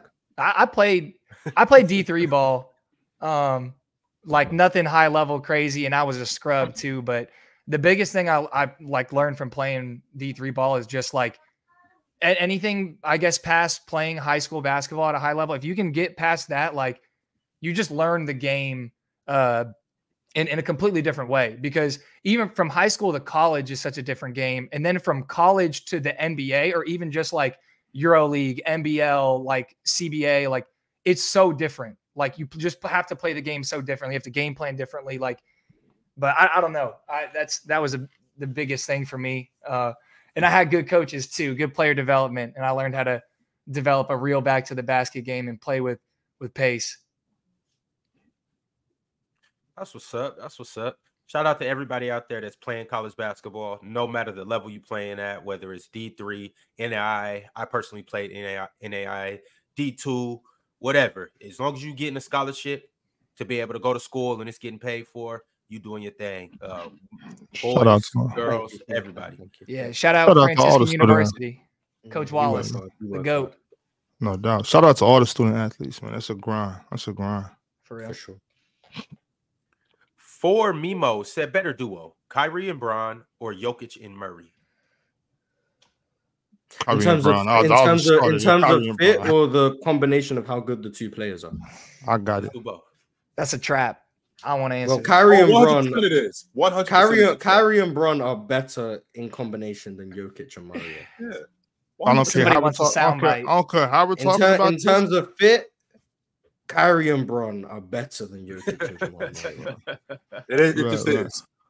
It like just let's is. not let's let's not beat around the bush here. Yeah. Let's just, let's let's say let's say what we got to say and get it out the oh, way. Oh, It's because Kyrie, they- it's they- Kyrie they and s- Brian, and that's Yeah. it. That's all. That's the end of conversation. They send super chats like that to see if you can say if you're gonna say something wow. They start screen recording on their Yeah, phone. to Like, I'm see gonna if you're get gonna say something. Yeah, see if you're gonna say something wow. I mean, what Kyrie- what what, Kyrie what, and what Bron wild better can than you and say? AD? Like, there's, there's Kyrie nothing and more Bron wild. better than and AD. One more time, say? Kyrie and Bron better than Bron and AD. It's just that that it's just that that Bron was better than this Bron. Even though this Bron is still uh, dope, A, a That 39, Bron 20, 26, 2016 Kyrie and Bron or 2020 Bron and AD. Man, I'll call it a toss up. I'd say it's pretty close. Different taking- different I- I- styles I'll- of basketball. I'll, I'll, I'll take 2020 Bron and AD. Man, 2020 AD. I mean, I'll mean, do the cop out. I don't know if y'all Kyrie remember- was half of 2016 because he was coming back from a knee injury. So I'm gonna just take Bron and AD for health. I- if you get if you got AD isolated anywhere within 20 feet of the was basket, there was a 75% chance it was a bucket. was it was money. insane. Like was mid range, on the rim. side of the basketball. Yeah. Elite. He and was, he was crazy. elite. So At yeah, that- I- I- two. I said at that point that he was the best player in the world. At that moment in time, he looked like the most dominant player in basketball.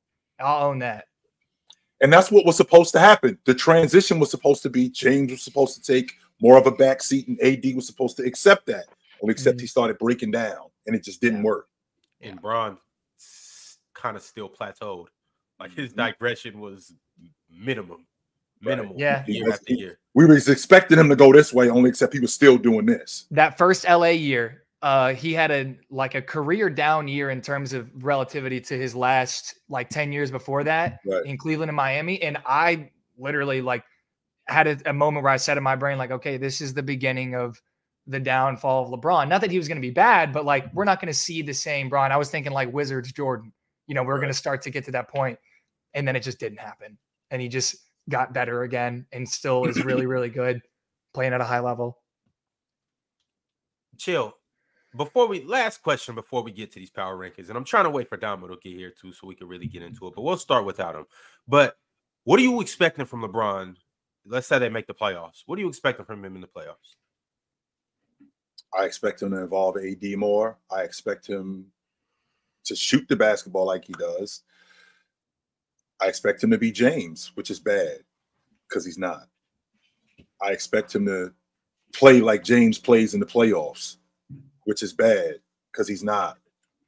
And I think that's the downside to this. I expect him to be awesome like James has been in the past, but he's not because he's older. And it's going to show. I saw it last year when they were playing against Memphis, and he could do it in stretches. He just couldn't do it for long stretches. And I'm every time I see him, it's basically the same as we talk about with Klay Thompson. The fact that he's out there, we expect to see that Klay, only except that's not him anymore. He's not that guy anymore, but we expect because he's out there to eventually he's going to come back. And whenever I see James, I expect the James that I've seen in the playoffs in years past, and that's just not him anymore. Should the Lakers try to rest Bron over this like this little this They gonna I make hate- the playoffs. We talking about rest? Yeah, Well, they don't have any. They don't hold have They on, any. hold can't on. afford to rest. No, they don't. I hate, They to, the I hate to nine call it the right? second half of the season because it's not really. They're, they're already 50 games in. So it's like Right. the last third of the season, if you will, or Mhm. last like 40%. But either way it goes, um, I still think that they'll make the playoff. I'm, I'm more so talking about coast into the playoffs as opposed to try to right now they're the they're the ninth seed, as opposed to try to get the fourth or fifth seed, kind of stay like where they're at, give Bron a couple nights off. Could the could the could the could they go on a run like that? Well, the only way for them to go on a run like that is they have to be consistent at something, and they haven't been consistent at anything all year long. Now, don't get me wrong. We saw last year those last 28 games. I think they won 20 of the last 28 games because the defense picked up. Is the defense going to pick up like that again? I'm not sure if, if you could duplicate that. It'd be nice if they could duplicate that, but I'm not sure if they can. As of right now, Ron, they three and a half games out the five spot today. They're three and a half games out the five spot. Is it ridiculous that they could jump up to the five spot? Well, a lot of things have to go wrong for a bunch of other teams. Like New Orleans has to go the other way. Sacramento has to go the other way. In order for them to Dallas has to go the other way in order for these guys to jump from the nine to the five spot. But I think that it's I don't think it's sustainable if they don't do anything consistent and if they run into Denver. I Those think they want things. OKC. Oh. I, I, whatever Yeah. seed OKC is, I think they want OKC. So if OKC stay in two, they're going to try to get the seven seed. So they're going to want to be seven or eight when they're Are playing they games. really looking at OKC like we could beat them, yo? Well, think about who's around them. everybody, everybody is chill. That's that's Yeah, the- Okay, that's- okay, if Minnesota- the Lakers could pick a matchup, they'd want OKC. I think. Yeah, I think so too. I think just because Minnesota's so stifling defensively, um, and what they can do to disrupt you with all their dudes is crazy. Um, LA Clippers, you just got a lot of experienced guys. I look at it like T Wolves, Clippers, Nuggets, Suns. Out of those four, the T Wolves are the least playoff experienced team, but they're the best team. And then you look at all the uh, like Clippers, Nuggets, Suns, like that's a lot of guys who have been in those situations plenty of times. They're going to be comfortable. The Thunder have never- no experience. This sound crazy as hell to me that a number two or number one seed or possibly a number one seed, other teams are looking at them going, "That's what we want to see." Yeah, we teams want wanted those Utah two. in 2021. Teams It's regular "We- season we- basketball. It's we- just we different." can beat. Like re- regular season record, like I I I said, Look at the I tried to Jazz. look- I tried to not look at record and just look at how the team plays. Right.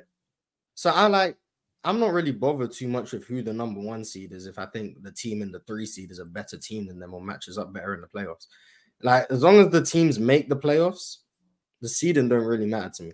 Kind of like Milwaukee. I can Yeah, yeah, like- sure. Yeah, that, that's where I'm at with it. Like I hear all the time, if I don't think a team's that good, well, they're the number two seed. Like, so cool, good for them. They're winning Remember, games in the regular season. I wasn't. I don't think anyone was really terrified of the one seed Jazz going into the playoffs a few years ago. Like they were a good team. Don't get me wrong, but they they like I'm I'm more worried about teams that have like experience winning playoff games because playoff basketball is so different than regular season basketball. When you can sit down and game plan for a team for a minimum of four games in a row, it just it changes everything.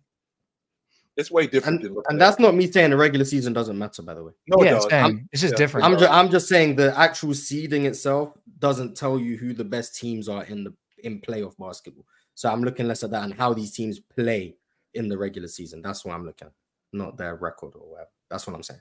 I've been tricked before, Mars. I'm, I, I I won't lie about that. I've definitely been tricked before, where I've seen a high seed and I'm like, "Yo, these dudes are serious," only to find out that they fools gold. The Cla- the Cavs in 09. Absolutely, I got tricked. 100. percent I did. I got tricked. 2012 Yes. Atlanta Hawks. Jeff. I don't think that. I don't think that they were don't fools start gold. I don't. I do not think. that No, they were went to they gold. they weren't they weren't fool's gold. They went to No. a conference finals and they lost to Bron. That's That was the problem. That was it. That was was the problem. It was if Bron, it wasn't yeah. for James, That I- I- that team was gonna get mopped in the finals were anyway. They weren't really they weren't gonna win. I, yo, I think that team was the definition of Wait. fool's gold. Like Wait, everyone no, knew no. that. Good. Even wait, even no, if, even if they think did, fool's even if gold, they I think that that Atlanta like, Hawks they trick beat the right Cavs, there. they would've got Ron mopped says that they get mauled. They Wait, what- they what year they you talking about? to the Warriors 2012? in two and a half 2015, games. 2015, 2015, 2015, uh, 2015 right, Atlanta Hawks. They, they would have lost to the Warriors. They would have lost to the Right, right. Warriors in two and a half games. Bud would have threw in the towel at halftime again. So you think Like, the they Warriors were not smoked them. doing You, you think the Warriors smoked them, Ron? I'm- I'm Destroy them. Oh my Any iteration of that Hawks team with uh, no disrespect to Al Horford, no disrespect to who else do they have over there? Josh Kyle Smith, Korver, Paul Josh Millsap. Smith. No, that's not. That's Jeff not. That's Kyle not. Korver, That's not going to be a sweep yeah. or nothing like that. Every That game. team. That goes. No, that I goes think six they take games. That goes. That goes six games. At Yeah. They would have lost to the six games. Rockets if the Rockets got out the West. They were getting destroyed. Like they shout out to the Hawks. There, shout out to them. hey, that was No, my that, 2K that, Hawks, team. that, that Hawks team was I nice. think. I That, think Haw- there that was a Hawks team month, was there was a month that held their own. season where the Hawks starting five got Player of the Month in the East. That's crazy. The whole starting five. Yes, the whole starting five, the- but like, but I think it might have been like for February or January or something. The starting five was the East Player of the Month. That's fire. Right. So So that team, oh, that oh. team, that team does not does not get smoked by the Warriors. I don't I'm think trying so personally. They That was I- that's now- that's that was that was a, Molly that was a solid team. That team was really good. I, want I to do say, I understand want to Mark's say, the logic. Jeff Teague that series. what you say? You know what Steph T- Steph Curry does to Jeff Teague in that series? You know what Joe Johnson oh. does to everybody that series? Klay Thompson. Hey, Was respect Joe Johnson? I think Joe Johnson was in Brooklyn. Hey, at that's that still point. more to he Klay wasn't on Thompson. that crew at that point. He He was was- gone. Joe Johnson was gone. This was Yeah, 15, this we was- talking about 15 or this 12? is like- 15. No, 15, okay. 15. Yeah, This is like Paul Millsap, Josh This, Smith this, still. this, Or the was Josh Smith in Carroll, Detroit at Jeff that point? Teague, Kyle Korver, Paul Millsap, Al Horford. DeMarre Carroll. That's who was at the He was is al- that he was sixth already gone by 15. Josh Yeah, Smith yeah, was yeah, gone by yeah. 15. I'm pretty Yeah, sure. he's too. Joe. Johnson was gone. Joe Johnson was gone. They This is the- they- they split the- I think they- team, right? yeah, Is this the year Sefolosha had the incident Yeah, New York. Oh. yes. that year? Kent Bazemore's on that team. I'll, I'll, I'll, I'll be worried. I'll be forgetting other people. Kent Bazemore was kind of he was he was alright at that moment in time. Kent That Yeah. team's the Warriors would. Man, shout out to the Hawks, man. Good, good. Ken little team. Bazemore, the forever prospect, just always Mm. about, uh, just about to take the, the next step, about to take the lead. From a roster, from a roster standpoint, Mars, yeah, I can get with that. You're looking at the roster going, how did these dudes win 60 games? What the hell is going on? But offensively, they were damn good, Joe. They were with Kyle Korver shooting the long ball. Jeff Teague made the All Star team that year. So they That's can't how- I'm pulling That's how they were rolling. Yes. They were rolling, and the only team they lost to was the Cavs. I told you this already, Molly. With 14 games over 500 against the Western Conference that year. 14 games. Now, don't get me wrong.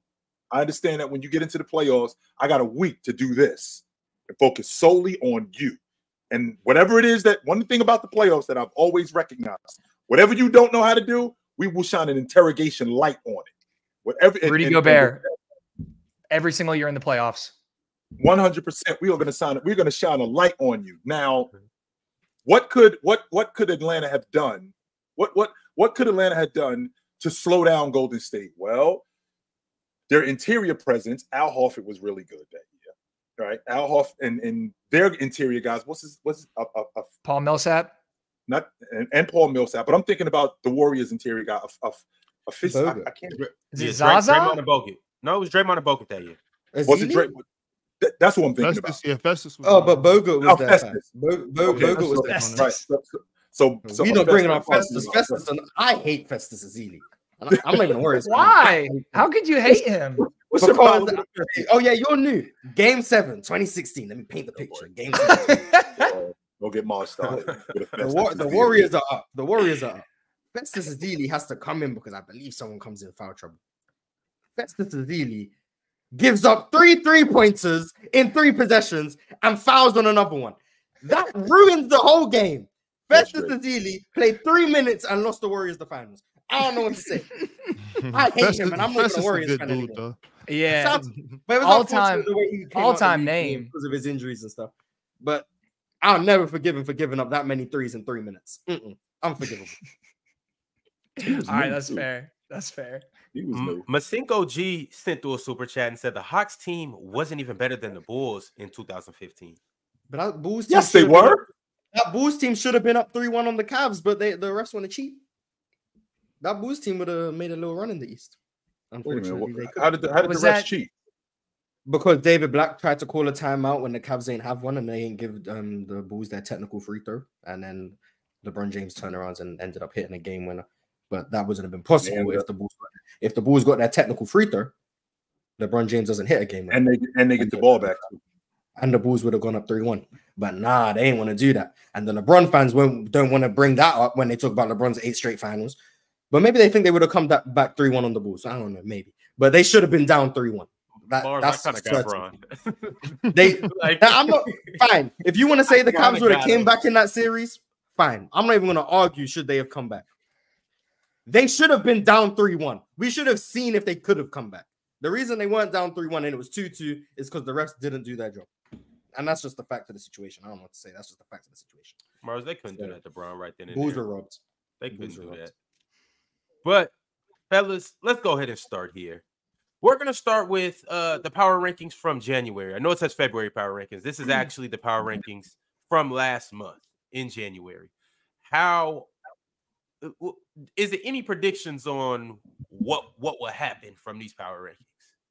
Yeah, the Bucks and the Sixers are going to drop. They Bucks and the the Bucks, The the Bucks, the Clippers- Bucks are not staying. in. Mavs. The Mavs will probably rise. Um, the, where's the, oh, the Cavs are going up for sure. The Cavs are Oh going yeah, up. hell yeah. Cavs Um, have uh like regular season Jazz fool's gold type energy right now. In my, Are the in my Warriors? book. Are the Warriors going up too? Where A little bit, a little bit. They're at 21. Oh, at 21, yeah, the Warriors are going up. Yeah, for sure. Yeah, the they Warriors go going up. Warriors go up. The Uh, Suns will probably go up. Hey, Suns Ron, where's where are the Pistons? Oh, you're Uh, not- oh, you're not showing I up th- oh, the Wizards go down. The Wizards go down. Mhm. to 30 instead of 29. Yeah, That's yeah, where I got no. Mm-mm. Yeah, the Wizards. Rock, can, right Ron, can we, there. can we see can we see 10 we see 10, 20, and 30? You see it now? Hold on, I hold on.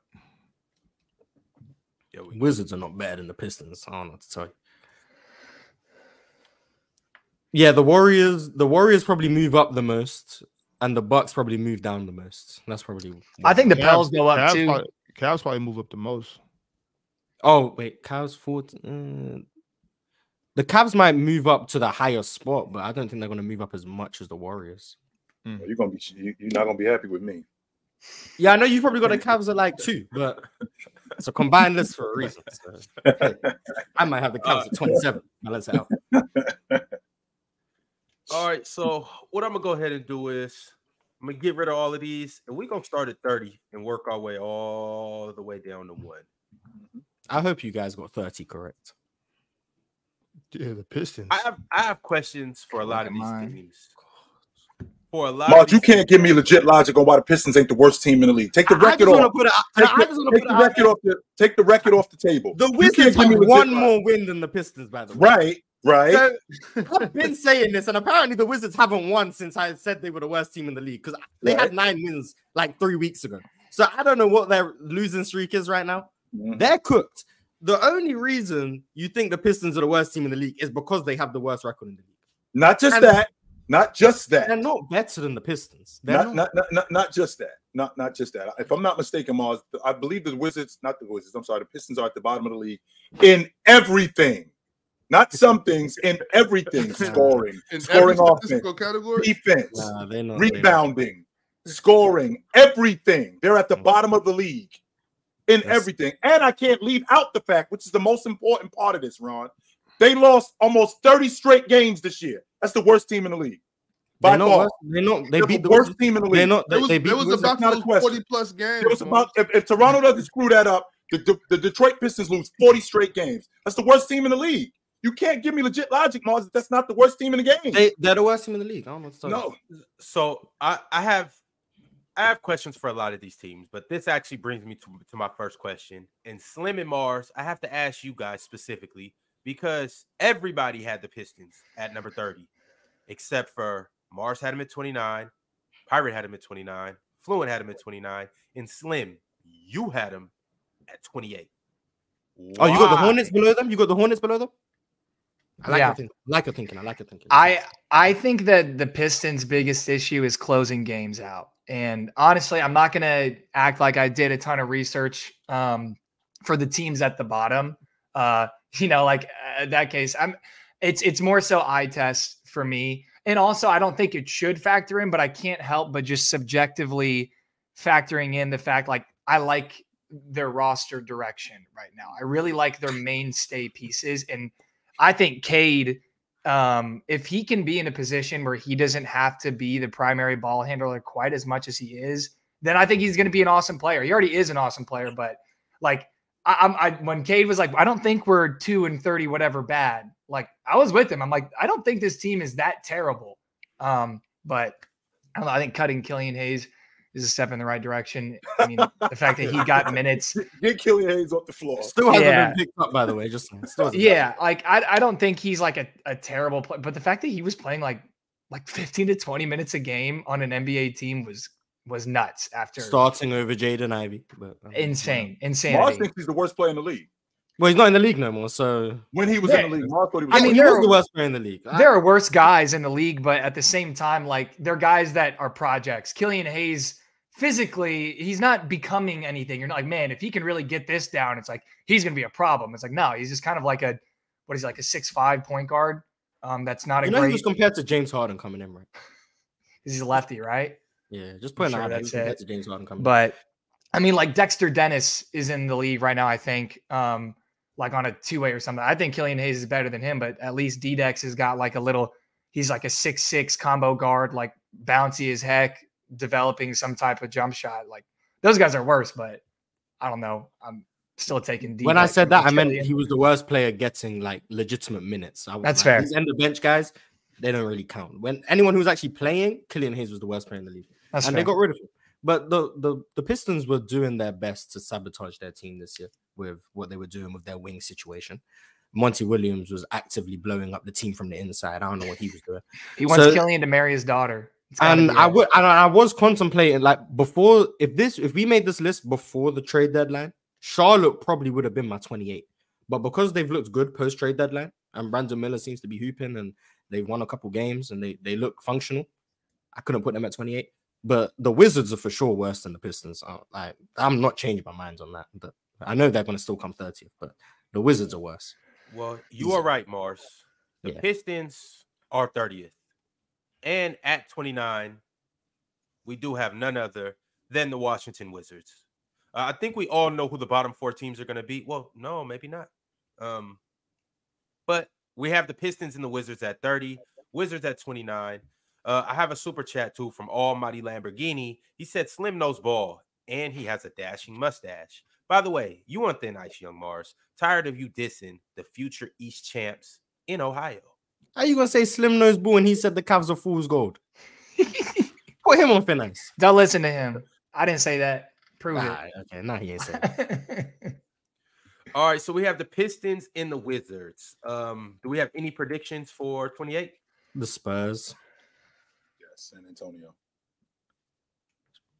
I don't think you guys would put Portland below the Spurs. So I was yeah, probably San Antonio or uh, Charlotte. Yeah, Charlotte been have hooping lately. Charlotte been hooping. And so Got a little new blood. at 26. Oh, whoa, whoa, whoa, whoa, whoa, whoa, whoa, wait, wait, wait, wait, wait, wait, wait. I put the Spurs, but Mhm. we have a tie between the Spurs and, and the Hornets, and we have to break that tie. Who's the worst team between those two? Or Between the who's best? Spurs and between The Spurs are and what the Spurs are worse than the Hornets. I, I say Hornets are worse than the Spurs. I'm All right, so their what- low what- last what- three what- games. We're gonna take a a, a a a toll or a tally and see which team gets to 26. So Mars, you have the The Hornets. Spurs, the Spurs are worse. Yes, I have the Hornets better than the Spurs. Yes. Okay. Slim, you have the Spurs. All right, we're at 1 1 right now. Chill. What direction are you going? San Antonio is number 28. So the So Hornets, Hornets are are better. better. Is what he's saying. Yeah, he's the Hornets are better than. All right. Yeah. Two for the Hornets, one for the Spurs. Ox, talk to us. Um, I got the Hornets being worse than the Spurs. So what's that? Two two, Yeah. Sounds like Ron? you tiebreaker, Ron. or is it the Ron. We're gonna go with the chat. I'm, I'm gonna get the chat involved. Who is better, the mm-hmm. Hornets or the Spurs? If Damo was here, he would be the tiebreaker, but Damo is not here Oh, don't Why do you think the Hornets are worse than the Spurs? To the people who said that. I mean, I, I just think it's it's kind of seems like a ragtag group of random pieces, and right now we're seeing the the boost of like new blood in an organization that really has been going nowhere for the past like three four years. Real like not a lot going on there, and also Brandon Miller's coming into his own, which which helps. But I see the Spurs as as a better team. The roster might be better in Charlotte, but the Spurs, I, I from the eye test, from what I've seen, they play better. Back. I think they're a better team. If if the Spurs snuck into a playing spot, I'd be more scared to see that. Which like would it's not going to happen. But I'm just saying in a, a hypothetical, I'd be way scared. I'd be way more scared to play the Spurs in seven or in, in like have to win four games on the Spurs than win four games on the Hornets. Well, I think if LaMelo's there, this isn't even a question. I think the only reason this is a question is because LaMelo's not there, so the Yeah. Hornets trash. Correct. But So I'm I'm still gonna factor in the fact that LaMelo hasn't played, and I don't remember the last time I seen Mark Williams play. Uh, Hmm. Last It's been. It was like- before. It was before. yeah, for like the last two months, every time I watch a Charlotte game, Mark Year's. Williams hasn't been there. Yes. So like I'm factoring in that when I when I think about them, and Right. I will wholeheartedly admit I'm moved by these post trade deadline, um, the play because before the trade deadline, they looked bad, like very very bad, but. As of late, I think their offense has looked better. Brandon Miller's coming into his own. He's getting more reps as an on-ball creator, which I like. Um, number zero over there seems to be doing his thing, and um, The addition of Grant Williams is good too. yeah, like I think Mhm. it seems just more cohesive over there. Whereas I think the Spurs have a clear like direction. But I mean, you get Wemby, you're gonna have a direction. But Mm. I don't think that's enough for me to say they're a better team today than the Hornets. I think they. I- I, think I both like the teams pieces. are very, very bad. I think both the teams are just really terrible, terrible teams. Just absolutely abysmal. both I mean, suck. Both, both of these teams, I mean, they suck very bad. Um, but with that being said, the Spurs got a their their best player is better than their best player. So They I got a bright spot. They got Yeah, you know what I'm saying? Like, in Their best, their best player is better than their, their best players. So I gave them the nod. Yeah, I, I like what they have too in terms of like their young core. I don't think it's that every single guy is like a gotta hold on to like mainstay, but I think Keldon Johnson is is a, a guy like that that you don't want to get rid of. I think Devin Vassell is a solid player, but he's movable as well as Sochan. I think Collins is one of the better backup bigs. in All of them dudes are movable. You Yeah, like Zach Collins? I do. I think he's a solid player. You I don't used to like I, I used to like him. Then I started watching him like more and more since He- Wemby moved to the he's a- and I'm he's like, a yeah, this liability. defense- This defense, is bad. I'm not- He is, and he gets he gets blocks. That's why I'm not a big fan of defensive statistics as a true like way to tell how good of a defensive player is because context is important. But yeah, he does not move his feet well at all. But he's solid. He's just a solid backup big. I'd be happy to have him in my big rotation. Yeah, he All right, better y'all. Here's what we're looking at. Yeah. I ran the poll. The Hornets won the poll. So the Hornets are at 27 and the Spurs are at 28. Uh, moving along to 26, I think this is probably the Portland. most predictable pick that we can get out of everything. It is the Portland Trailblazers. They'd be higher if Shaedon Sharpe was healthy, but well, Mhm. Scoot's coming along too. He's starting to look more comfortable. Don't Makes tell that to sense. them, some, don't tell that to some of these dudes up here. Man, people just people get that the the narrative right away was Scoot Scoot isn't good. He's and then people stuck. will hold on He's a, he's that. a bust. He's gonna be out the league. Like, wait a minute, yo. I this wasn't is calling, calling, big calling, dog. some, calling someone a bust in three months is insane. But, Damn, we just got that. I just got here. yeah. I don't All right, know what I'm doing. predictions for 25. What The do we thinking for 25? Is it the Grizzlies? Raptors. Mitchell. At Memphis. 25, we do indeed have the Memphis Grizzlies. Okay. Mm-hmm. All right, so 25, we got the Grizzlies, 26, the Blazers, 27, the Hornets, 28, the Spurs, 29, the Wizards, and not surprisingly, last we have the Pistons. Very I have a- surprisingly. Don't do that. It's very surprising. They should To have. you.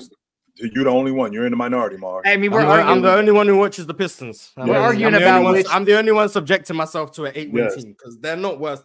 They're not worse than the Wizards. don't- I tried. don't I tried watching them early in the season. I'm good.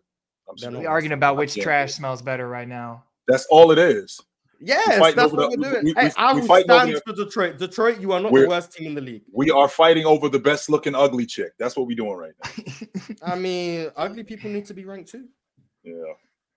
Almighty Lamborghini said, I didn't hear Slim diss the Cavs. My bad. I'm off the bandwagon. L Stash and Duren missing half half the season and forgetting Ivey was good, good plays a big part in why we were so bad. Still El Mars. Yeah, Mon- Monty Williams didn't help himself, and neither did Troy Weaver. Because the fact that he went into the season knowing Bojan was hurt, and then said, "Hey, Isaiah Livers and Kev- Kevin Knox are your wings," like I don't know what success you're expecting Oh with my that. god. Because What is Isaiah going- Livers, since he's been hurt, so I'm still not calling him the worst player in the league because he hasn't played in Washington because he's been hurt.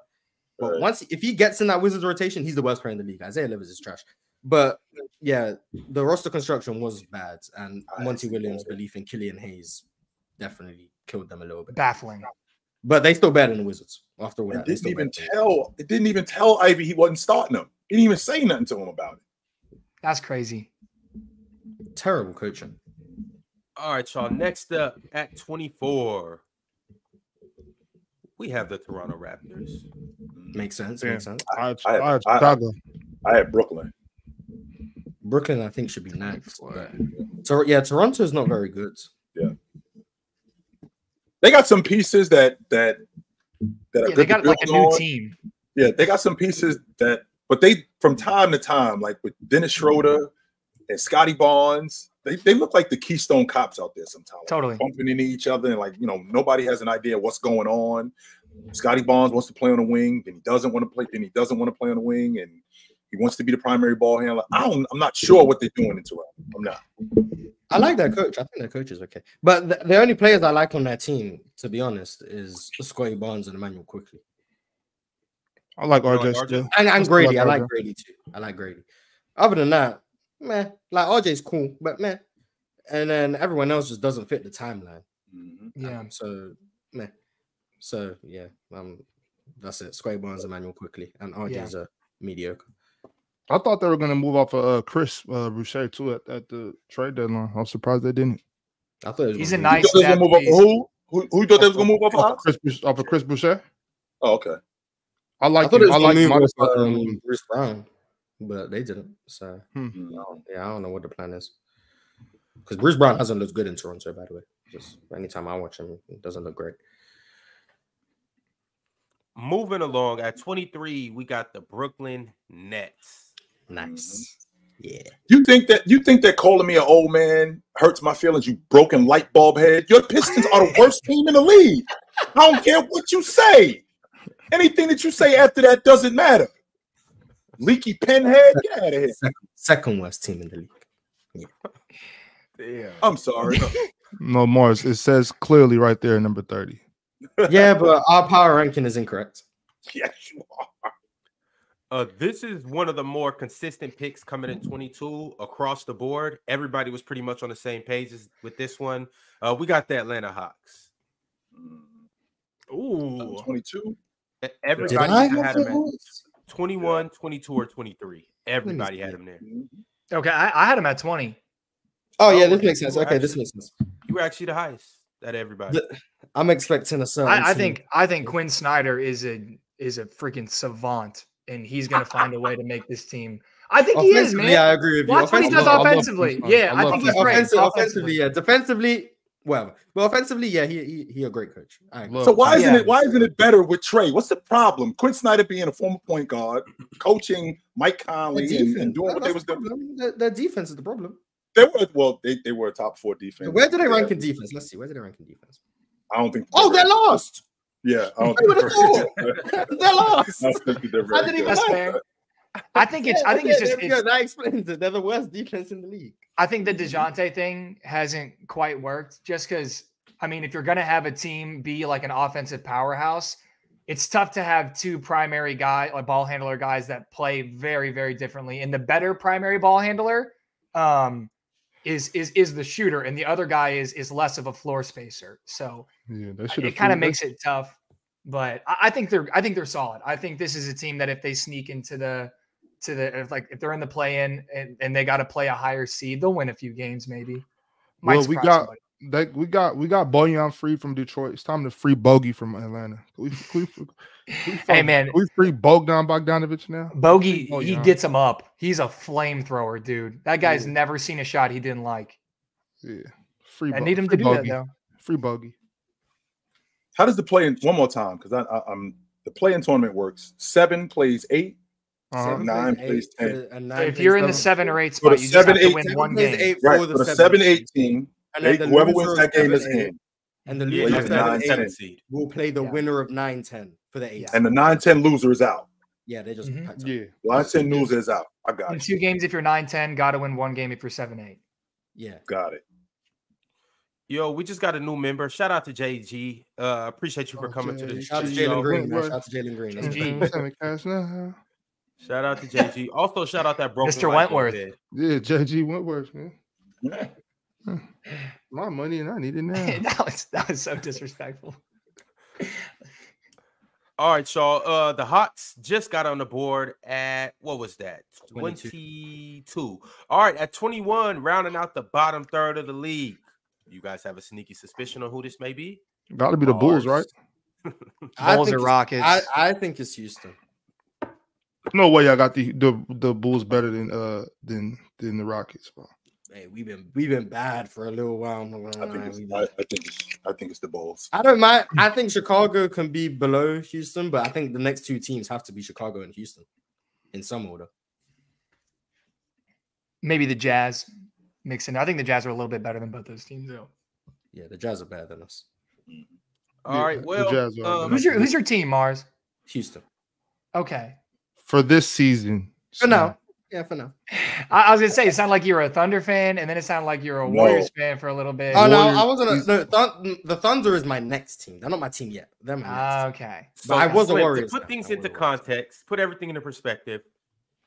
He was dating the Warriors when they were in their prime. No, he wasn't dating them. It was way more serious than that, Ron. wait, so no, they were engaged. way engaged. more serious than that. They were It's not- engaged. They sent they sent out Okay, invitations and then I to the wedding them. and I saw them going down the path of drugs, Yes. and I left. Drugs is crazy. Just dumped him. Drugs Just crazy. dumped them just like that.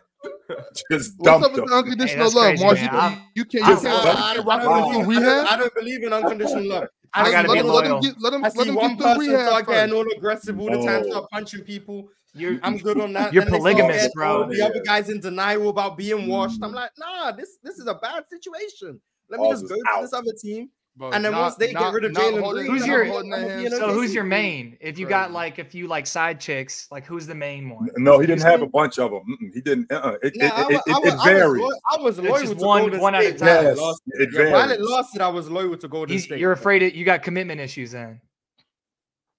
Nah, I think I'm. Co- I'm when I'm committed, I'm committed. But you, No, you're not, How's that Mars, because you just No, no, told no, no, us. No, no, you're no. If you do, if you do, if you do, if you do something I don't like, I'm not obligated to stay.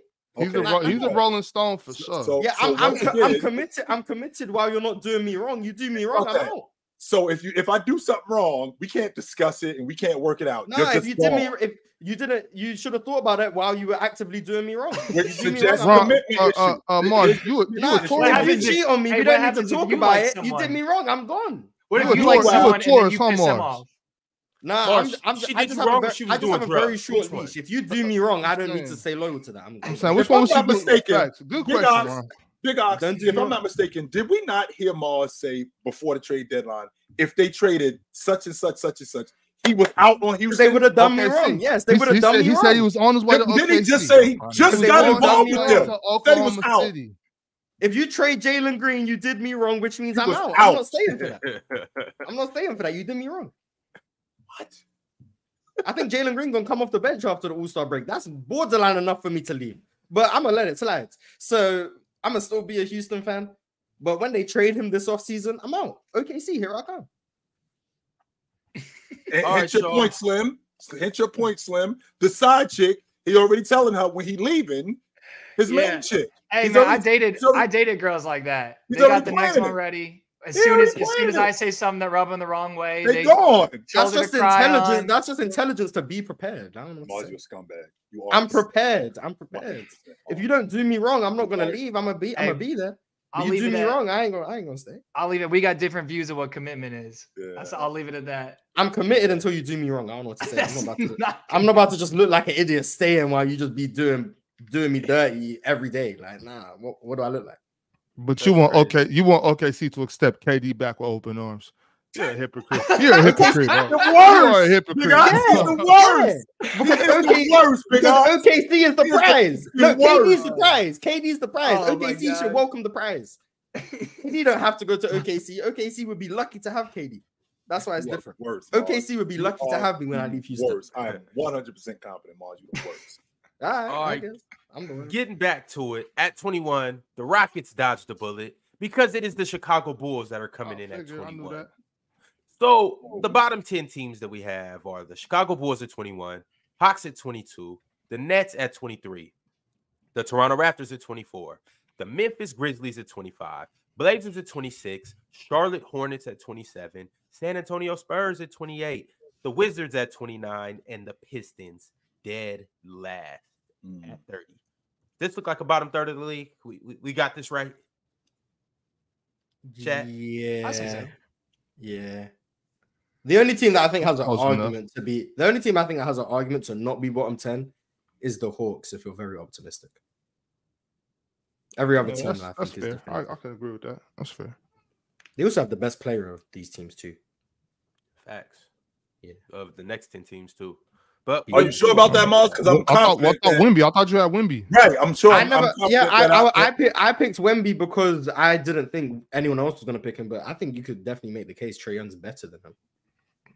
But they're the two best, yeah. Wemby and Trae are the two best. you could you could definitely say that. All right. Shit. all right. give me at give me triple J. Oh yeah, I'm good. Yeah, me At too. 20, what direction do you guys think this is headed? Houston, Houston, Houston. Um, yeah, I, Houston for sure. Y'all got Houston on mine. Hey, Utah. You think All they're right, better than Utah? I got Utah I right before them.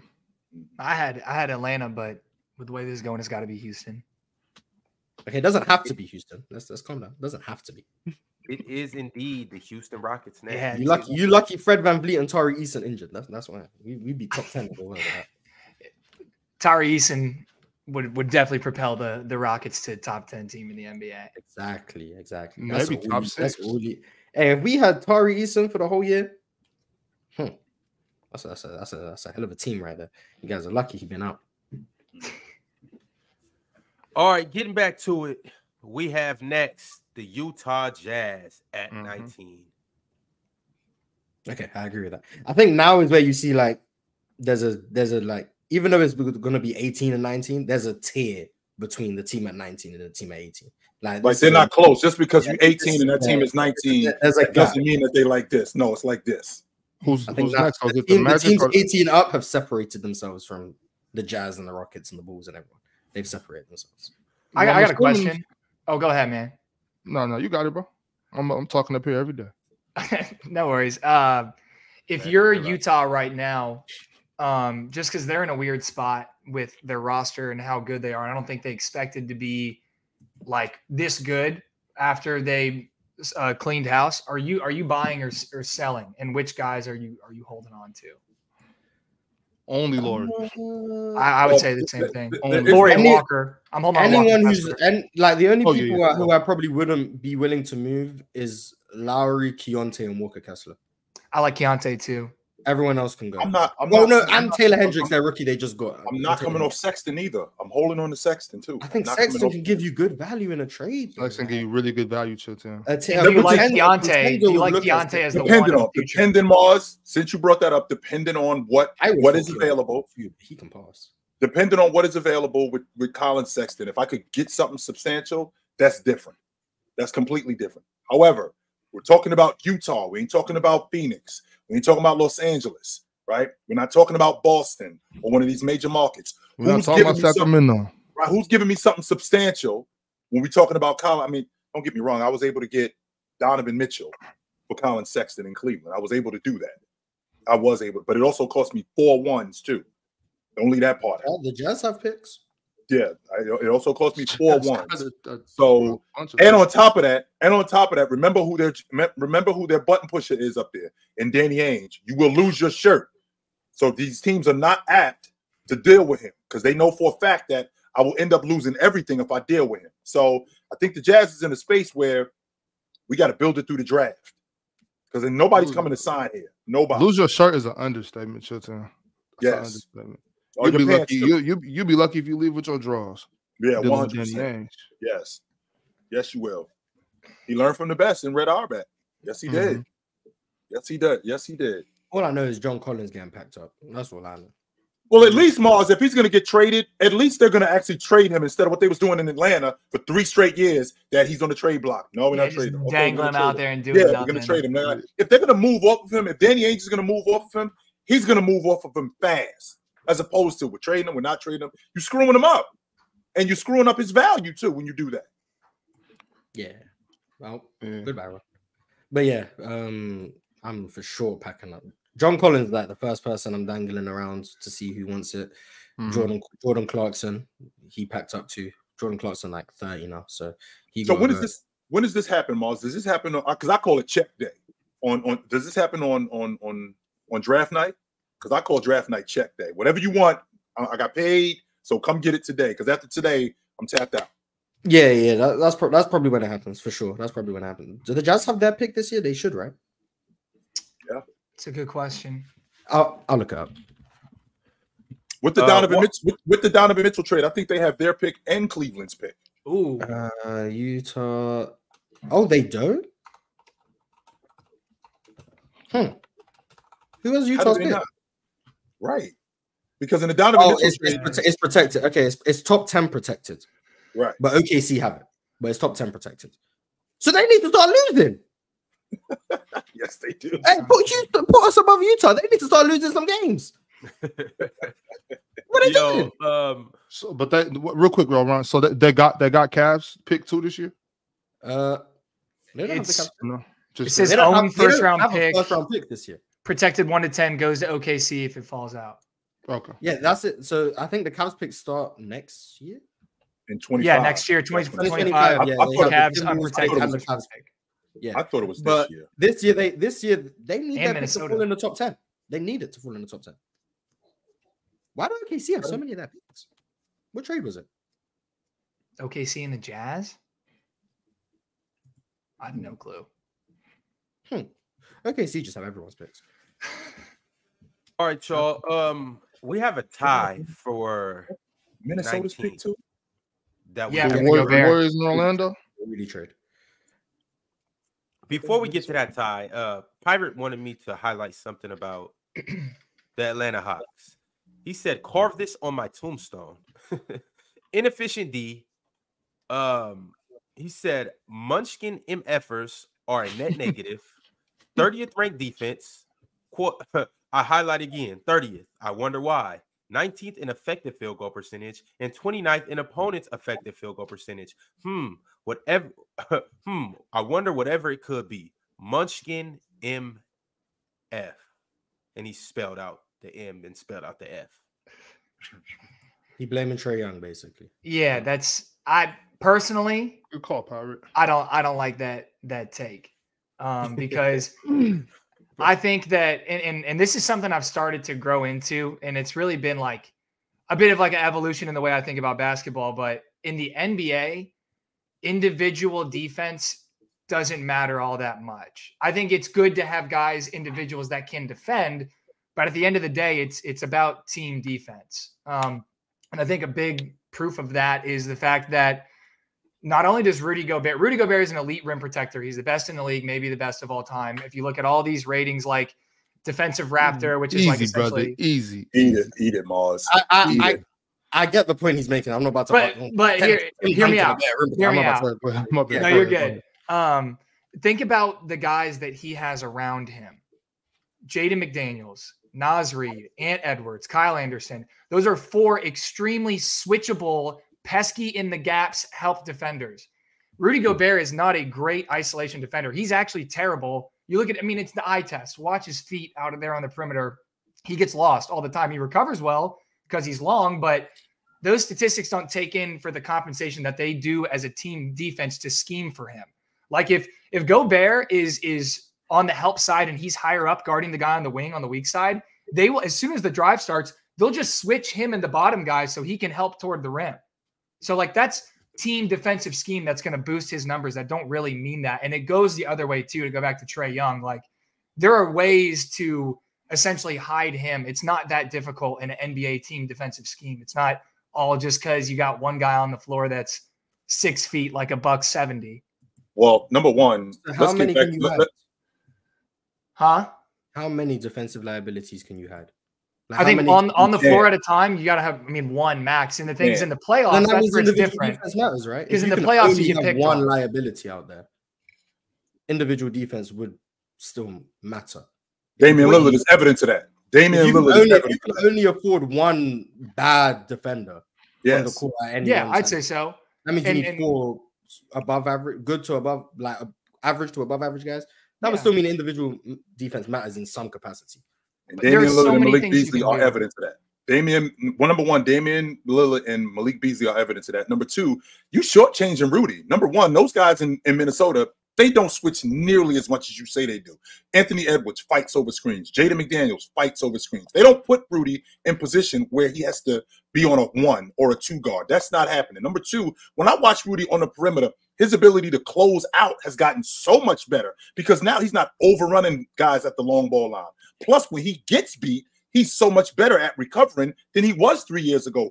I don't. Mhm. I, I think a lot of people are looking at Rudy from what he was years ago, and you're not really paying attention to what he is now because you're still stuck on what he was. It's not said you're not watching. You're just still stuck on what he was years ago. He's so much better today than what he was years ago. That's just not true. I Hey, real, real quick, real, real, real quick though, Mars. KAT- Real, real quick. Hey, Ron, I'm gonna I'm gonna text. I'm gonna text you my vote. I gotta go pour a couple bowls of cereal. I'm gonna text you my vote. W series. Yeah, Alright, yeah, yeah. yeah. But I, I was will. I will say, KAT looks for the like kids. For the kids. KAT looks a lot better on defense this year, and that's part scheme, part his awareness just looks a lot better mm-hmm. this year. So I want to give KAT credit for getting better on defense, and also give Chris Finch credit, unless there's someone else who's coaching the defense over there. I don't know who their defensive coordinator is. Chris is. Finch is a genius. But I'm gonna give Chris Finch credit for that Timberwolves defense because KAT just looks really good. But I don't think I don't think Rudy Gobert is like the perfect example of that. I mean, obviously you want to keep him closer to the rim, but I don't think I think you want to keep him closer to the rim because he's so great protecting the paint.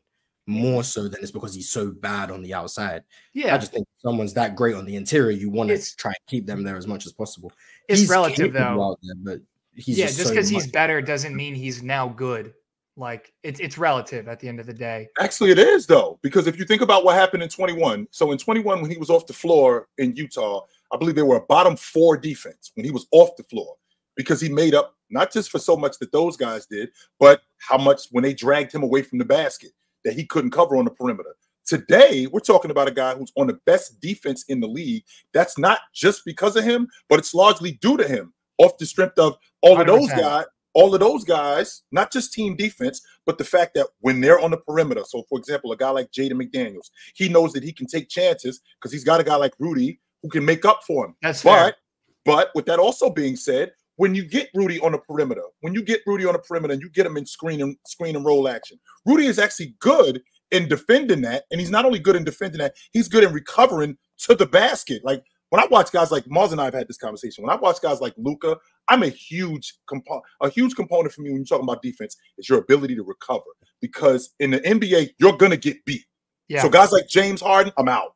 Luka, who's actually gotten better, but for the majority of these guys who won't compete, Rudy Gobert has gotten so much better at that. And because he's gotten so much better at that individually, that makes their defense collectively so much better. Yeah, and I'm not necessarily talking about like pick and roll drop coverage because I do think he's that's where he's grown the most as a player from that 21 Utah uh, time to where he's at now. Because people used to attack him in the drop and and just be totally okay with taking like eight foot floaters and jumpers because he was so on his heels, worried about getting beat to the rim that he would give that up. But um, I mean now, and it doesn't it doesn't happen as much is is what you're saying is he he doesn't get ISO'd out on the perimeter. But come playoff time, like it's going to happen, and it's it's going to be an issue that they're going to have to overcome, and they're going to have to be okay with playing without him on the floor. We see it happen in the playoffs every single year. There's always one team that's Mhm. forced to go small. I believe it was Memphis not too long ago where they had to play without Steven Adams, who was a staple for them on on both ends of the floor all year, well, mainly on the defensive side. But I'm Yeah, glad you brought that up. I'm glad you brought that up, Slim, because I watched them play against Minnesota. I watched them play against the Clippers, and they actually had a counter for that. Because with the Clippers, in in, in Mars's estimate, Mars and Ty Lue is the king of who?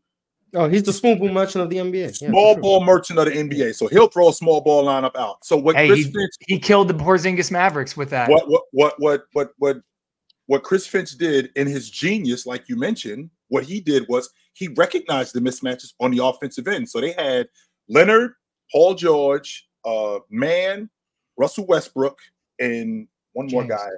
James And- Harden. and- yeah, and James Harden on the floor. So what Minnesota did was on the offensive end, they threw the ball in the post to Rudy on rim dives. They threw the ball in the post when he would get switched onto Leonard, and he would just basically throw the ball in the bucket. When you doing that, yeah. it- and, and when you doing that, now that's a counter to you guys shooting threes. Because you know what I want to do? I love having Russ on the long ball line. Knock yourself out with Russ shooting long balls all night long. If you got other teams in the Western Conference who are not as good as long ball shooters, because Slim, remember, there is no hiding guys. We already know who you guys are. Can we protect these guys? I don't think you have to. I don't think you have to protect Rudy nearly as much as you used to. I don't think you have to do that. I'm, I'm right, surprised. Fellas. Oh, sorry. Go ahead. We, we, we got to get back to this list. Okay. Um, and we do have a tie at uh 18 and 17. We have a tie yeah. between the Magic and the Warriors, and we have to mm. break it. Um, so I'm gonna ask you three Ox hasn't texted me his answer yet. So chat, I'm gonna go ahead and run a poll, and you guys will be the fourth person. At the Warriors at 18. Let me see. So you got yeah. the Magic higher than the Warriors. I do. Yes. Okay. Oh well, I had neither of these teams at this spot. Well, who do you have better? Warriors at 18. I had the Warriors higher than the Magic. Mm-hmm. I have the Magic higher than the Warriors. All right, so we have two for the Magic, one for the Warriors. Chat, go hit that poll. And while you're at it, like the video, mm-hmm. subscribe if you haven't subscribed. If they play Shout Jonathan Isaac 35 minutes, I'd pick the Magic. But Jonathan Isaac, bro, so good to see him like looking like himself again. Mars loves him. Mars loves that dude. That's his man. Hey, that's a 2K 2K like my league fantasy draft. I'm taking Jonathan Isaac every single time. He's while we're waiting for um for the the poll to finish, I got two questions. Uh, Slim, I gotta ask you about the Magic, and Mars, I gotta ask you about the Warriors. Slim, mm-hmm. you had the Magic ranked the highest at 14 on your poll. Why do you have the Magic so high? I think they're playing their best basketball of the season right now. I think like they're, right now. They're, yeah, I, I, think like as of late, and, and you can whatever sample size, like maybe the last month, month and a half or so, I think they've looked really, really, really good. Um, Remember, they were a top four team in the league earlier. She said it's not about record, man. Yeah, but about- I mean, I, I'm just thinking about, and this is like I said, just calling upon recent memory of the results that I've seen against and, and how good they looked against other quality opponents. Um, I can't speak for early on because honestly, I wasn't paying that much attention to them early on. Um, it was really after, and I'm like, whoa, Magic are like, what, what would you say, fourth in the in the west or in the east at, at one point? Second. They were number two Second. in the East at one point. Yeah. Yeah, so I mean that's when I started really, really watching because I like I like Paolo and uh and Franz, um, but I, I do think they're not quite as deep as I'd like a like a a real playoff contender to be. But I think they're really, really good in in terms of where they're at uh, on the rebuild. They're way ahead of schedule. Like Paolo and Franz is a legit duo. I'll, like, I'll send my vote in, Ron. I have, War- I have Warriors being worse. Mm-hmm. Sent it where? In the chat. you asked him, Ron, and he just told you. Uh, Focus, Ron. Okay, but so, like, so what's that? Don't say you sent your vote in, in the chat. Like, oh, you don't, right, oh, you don't read the uh, chat? Ron admitting to not reading the chat is crazy. Ron, oh, Ron not a man of the people. It, man. It, it's kind of yeah. hard for me to, you know, read the chat. I've seen his vote. I've seen his vote. Do the list and all of that other stuff. That's crazy. Well, on my list, I, I on, on my list, I had I had the the Warriors 18 and the Magic 17. I did. All right. So as of right now, it looks like the chat voted the Warriors. Mars voted the Warriors, but it looks like we have the Magic packing up the Warriors. So we do have the Warriors at 18. Uh Mars, me and you mm-hmm. had the Warriors actually ranked the highest. I had them at 14. You had them at 13 on your power rankings. Why do you have the Warriors so high? Um, since Draymond's came back, their mm-hmm. defense hasn't been the worst in the NBA or damn near close to it like it was before. Um, the Draymond Green impact is is real. Um, the Jonathan Kuminga becoming their second scoring option. Um, I was a believer in the Jonathan Kuminga post game, like when he came into the league. Now I think it's a real thing. Um, that little wrinkle is nice for them to have. And over the last month, I think they've been the best offense in the league, which I mean, a month is a reasonable sample size. I mean, and sometimes it might. It coincidentally, just, Mars, since you brought that up, coincidentally, in that month, who's gotten back in the lineup? Draymond Green. How about that? How about that? you don't have to tell me about Draymond Green's impact. I've been trying. To How, how about that? Not to mention they just they, They just put a Crazy, certain washed but- fellow on the bench. I mean that, Which is not going to uh, Mars. Do not get sucked into this logic because I'm telling you right now, what's going to happen is is he's going to start cracking the long ball. He's going to look like the old Klay, and guess what they're going to do? Put Like right they back put him in. back and then I'll move them back Yes. down the power rankings. But for Like now, they should. But for Klay, now, no, no, Ox, they shouldn't. I'm not- No. look, if Klay if Klay finds his rhythm, Klay's not sitting on my bench. No. yeah, he washed. But I mean, so their offense looks great. Their defense, Yes. looks, their defense That's is back. Y'all at a call it what level. you want. Klay's playing. Wig, Wiggins seems to be figuring out. He's not like 20 a game or whatever, but his defense seems to be picking up and he seems to be applying some level of floor spacing and just like tertiary scoring. Draymond Green can make threes this season, but I mean, teams still leaving him open, but he can make them, which is nice. Um, so overall, I think they're just starting to figure things out. And then I went to between well between the Magic and the Warriors. It's in a playoff series. Who do I think would be harder to beat? And I'm just looking at this Magic's team, horrific floor spacing. Mm. I'm like, I think teams are comfortable with that in the playoffs. Like Markelle Fultz, who I was a believer in, his de- refusal to shoot jump shots is detrimental. Like when you when you're six ten guards, you can kind of get away with it. Who else they play with him that that like makes that an issue? Because I think you Um, can have Well, Franz isn't much of a floor spacer. He can make them, he's not a floor yeah, spacer. like Pa- catch and Paolo- shoot. That's all you need. Paolo's not a floor spacer at this stage of his career. In my Cole opinion. Anthony. When Wendell's not a floor spacer, Anthony Black isn't a floor spacer. Oh, Jalen Suggs is hitting it, but I mean, do you consider Jalen Suggs a floor spacer, or is Yeah. it someone? who- I mean, I and know I wouldn't even say Wendell is like like not. Um, They're- he's they're capable. res- they have they're a lot of capable guys. Yeah, they But have a lot they're, of they're, capable respect, guys. they're respectable in the fact that when Paolo drives, they're going to help off Wendell and he can make it occasionally. But they're not floor spacers in the regard of we're reluctant to help off of you. Like they helping off everyone on the roster. That's what I mean. Like they're conceding open threes to whoever's out there. Like Yeah. the only the only one that I'd say they don't concede open threes to is Jalen Suggs. Like Cole Anthony? uh, but Cole Anthony's just cooked some defense. Like if you want to put the defensive pieces around him, so you want to have Jonathan Isaac out there, who's another non-floor spacer, and then have Wendell and then Jalen Suggs. But that's already four guys, and then you have what Paolo or Franz. I'd say Franz is the better defender at this point. But you'd have to, in order to have Cole Anthony spacing, you'd have to sacrifice some of your defense.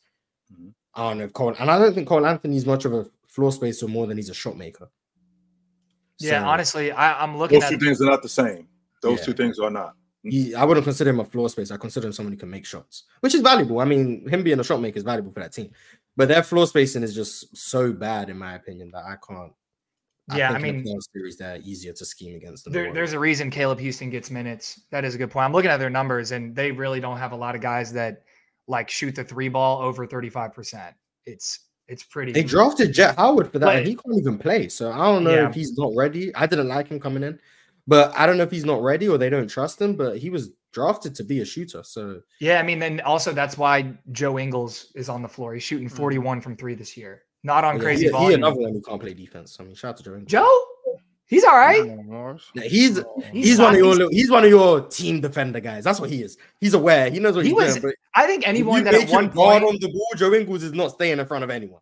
dude, anyone at one point that was a that because at one point in his career he was a very very good like But then he like tore. But then he on-ball tore his defender. Achilles. Then he tore his Yeah, but Achilles. he's still got the savvy. It's not like he's a Yeah, he's aware, out there. But he can't stay in front of anyone.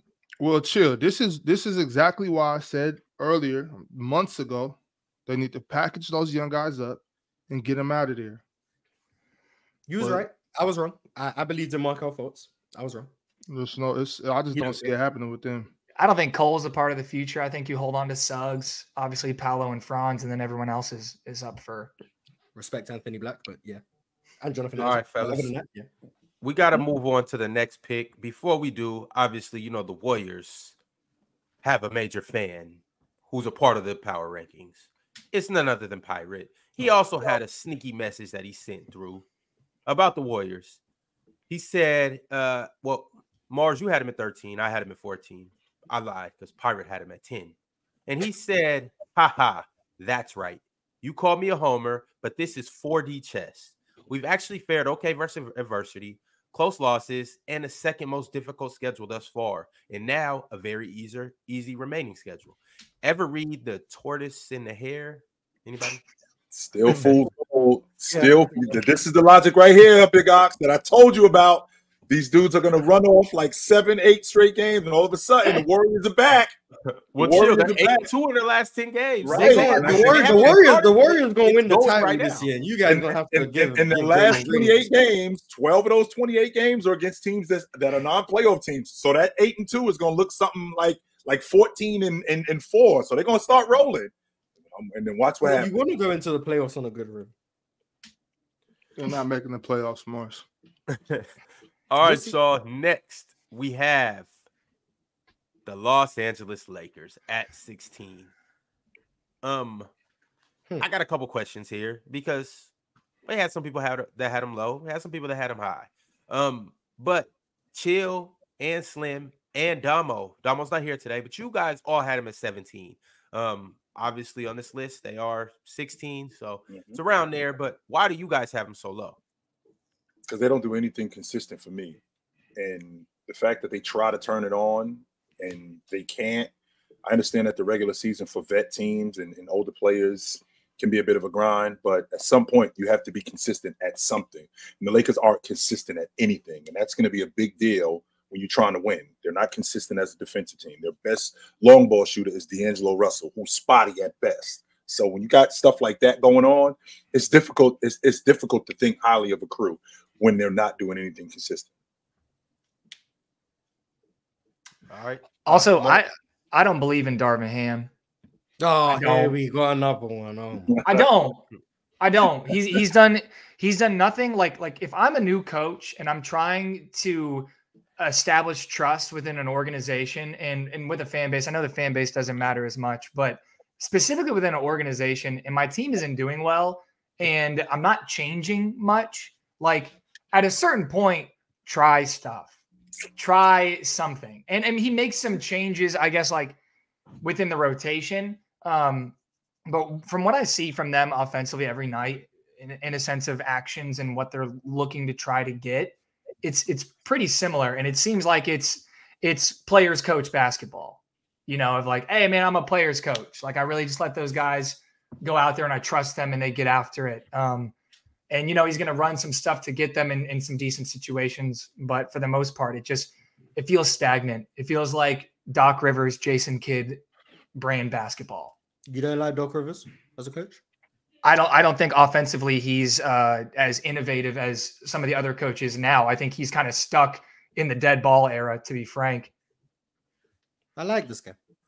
I hate, I hate, I hate the, I hate the players. I, I hate the players' choice, the pl- players, co- players coach thing. Like, it's like, What do you mean? and what, what are you here for then? Like, I'm a players coach. I let him just, well, no, well, coach, coach. That's what you, Right. that's what you're here for. you Yeah. know what I'm? So don't Right. be What are you player's talking coach, be a about? coach's Right. coach.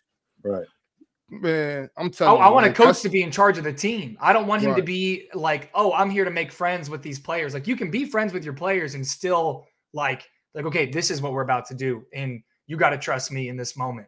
Um, and I think some players can break that thing. Like obviously LeBron is LeBron. If you're coaching a LeBron team, he's going to be your head assistant probably.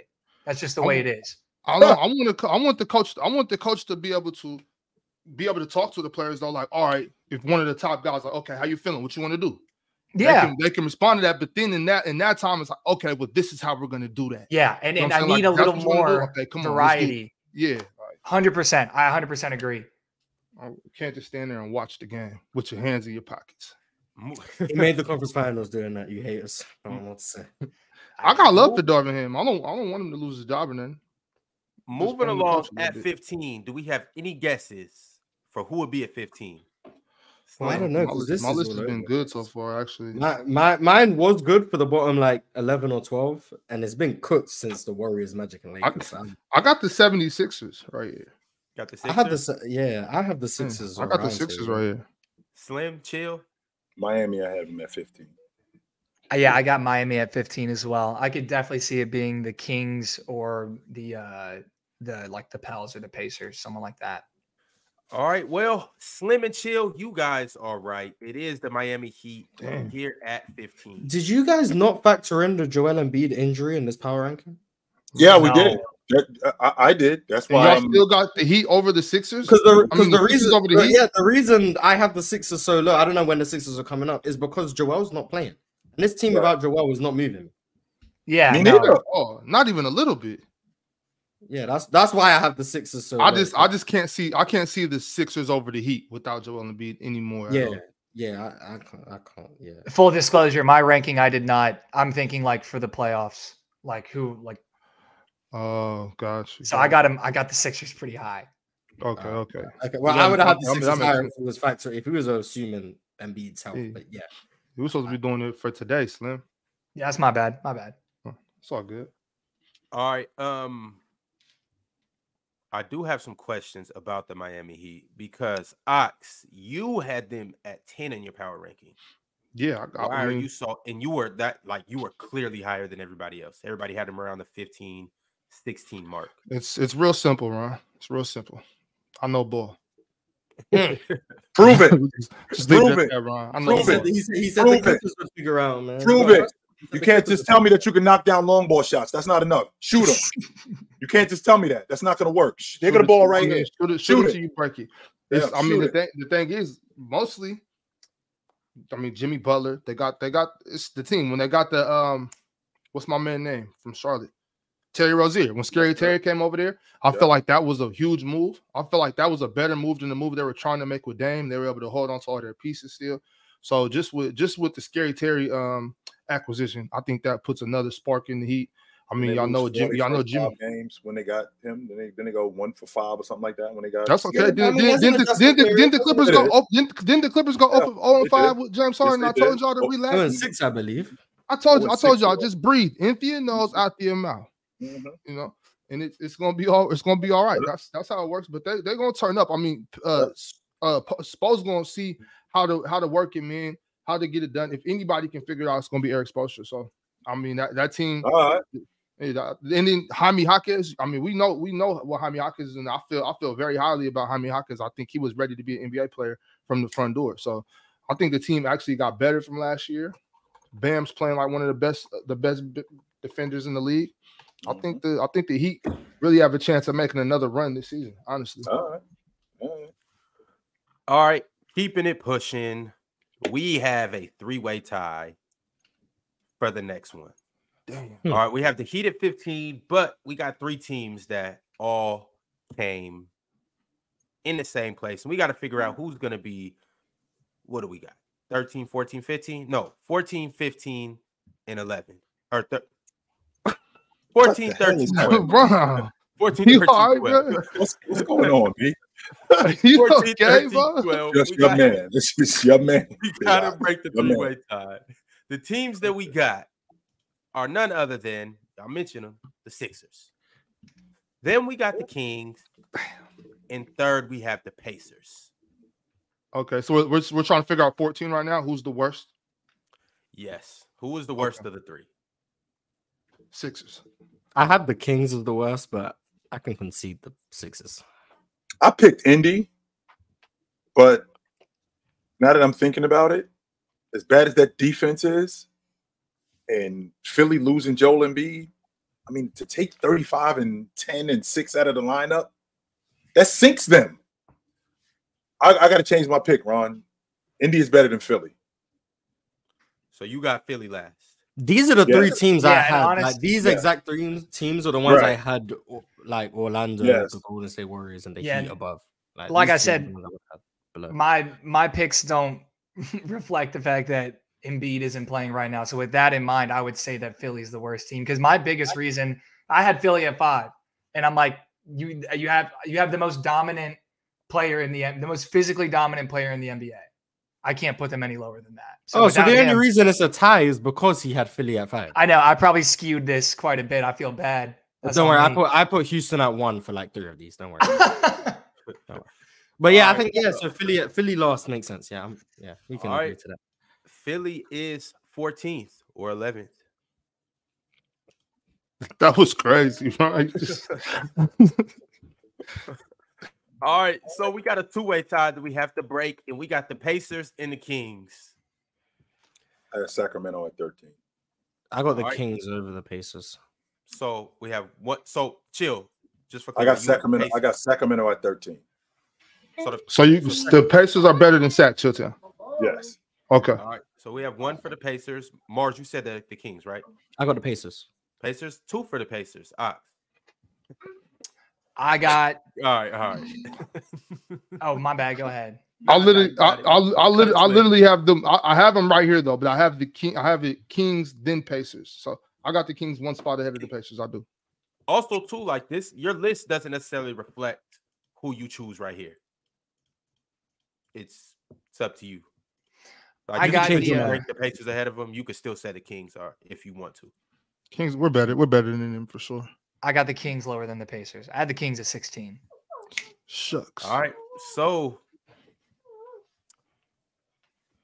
we got the Kings at 13 and the Pacers coming in at 12.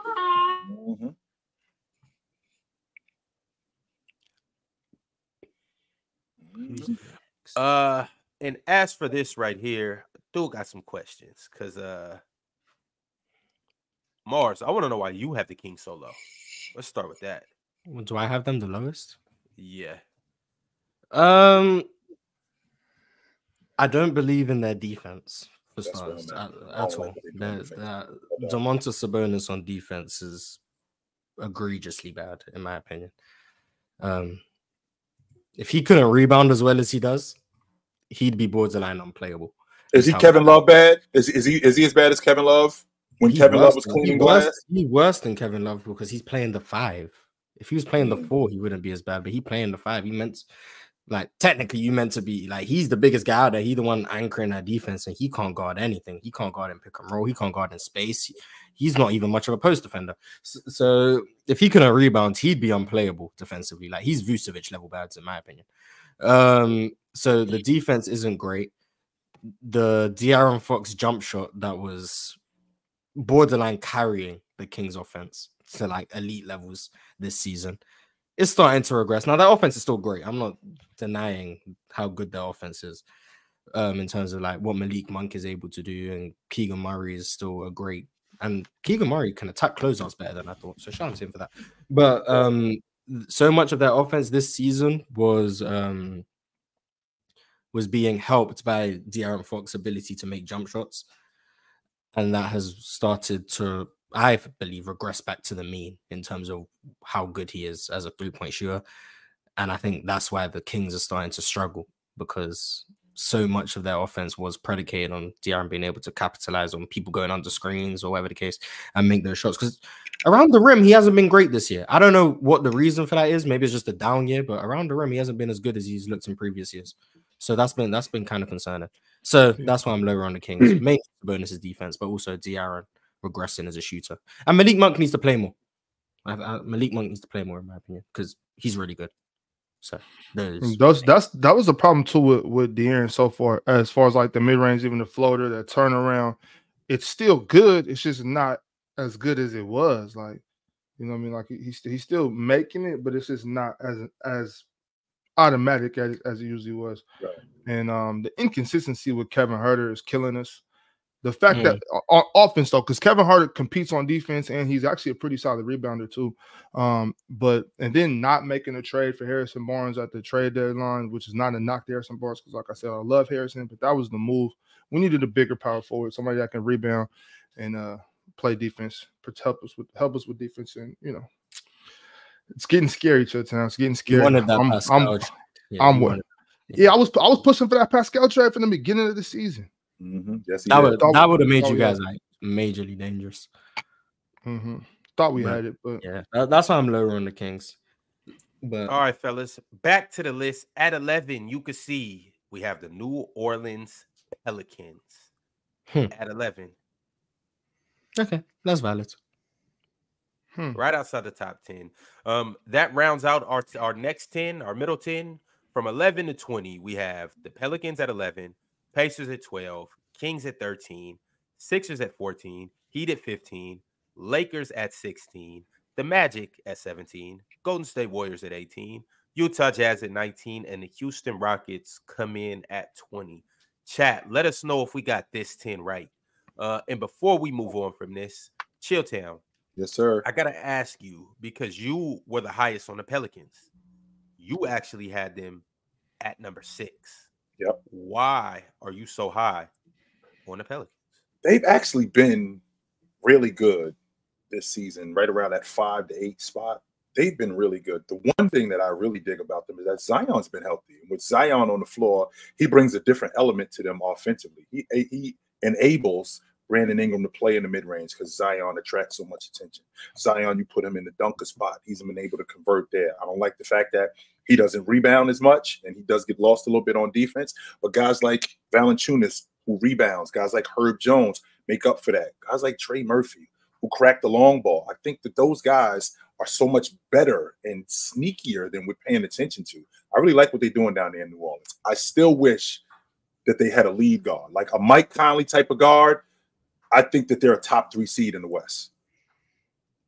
I thought they were going to push for a, a, true one at the trade deadline. Yeah. Honestly, um, I thought maybe they could put together a tantalizing package for Darius Garland, um, but it didn't happen. But either way, what they've been doing is they've been Yep. putting Zion at the one, and they tried it early on in the season when they weren't totally healthy, and you got like Dyson Daniels and Naji Marshall playing like heavy rotation minutes when those minutes would be taken by Herb and Right.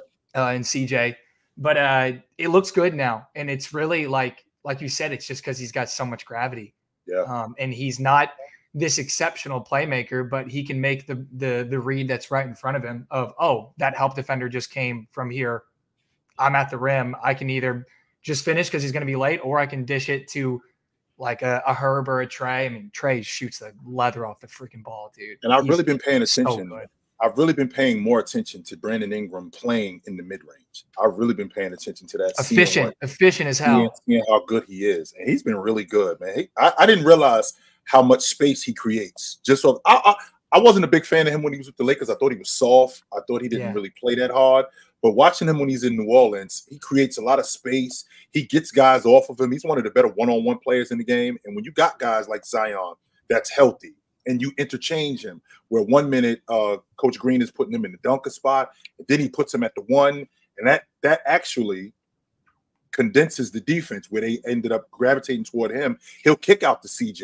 He'll kick out to Brandon Ingram, who knocks down shots. He'll even kick out to Alvarado, who gives them good minutes. I like what they're doing in New Orleans. I do. Yeah. Big Ox already told me if Sacramento had to see them in round one, he out. He hates it. Yeah, I'm, I'm a big I'm fan. going- of I won't watch one single game. And Slim, you brought up Trey Murphy. That's really my guy over there. Trey, Okay. I think Trey Murphy's one of the more slept on players in the league. He's big, big, athletic, sniper, a go dunk on you too, a solid defender as well. And that's the thing that I do like about the Pelicans. I think that they have dynamic defenders. Trey Murphy, Herb Jones, Alvarado. Um, so I I I just I, I like them over there. I, Brandon Ingram, he's not too bad of a defender as well.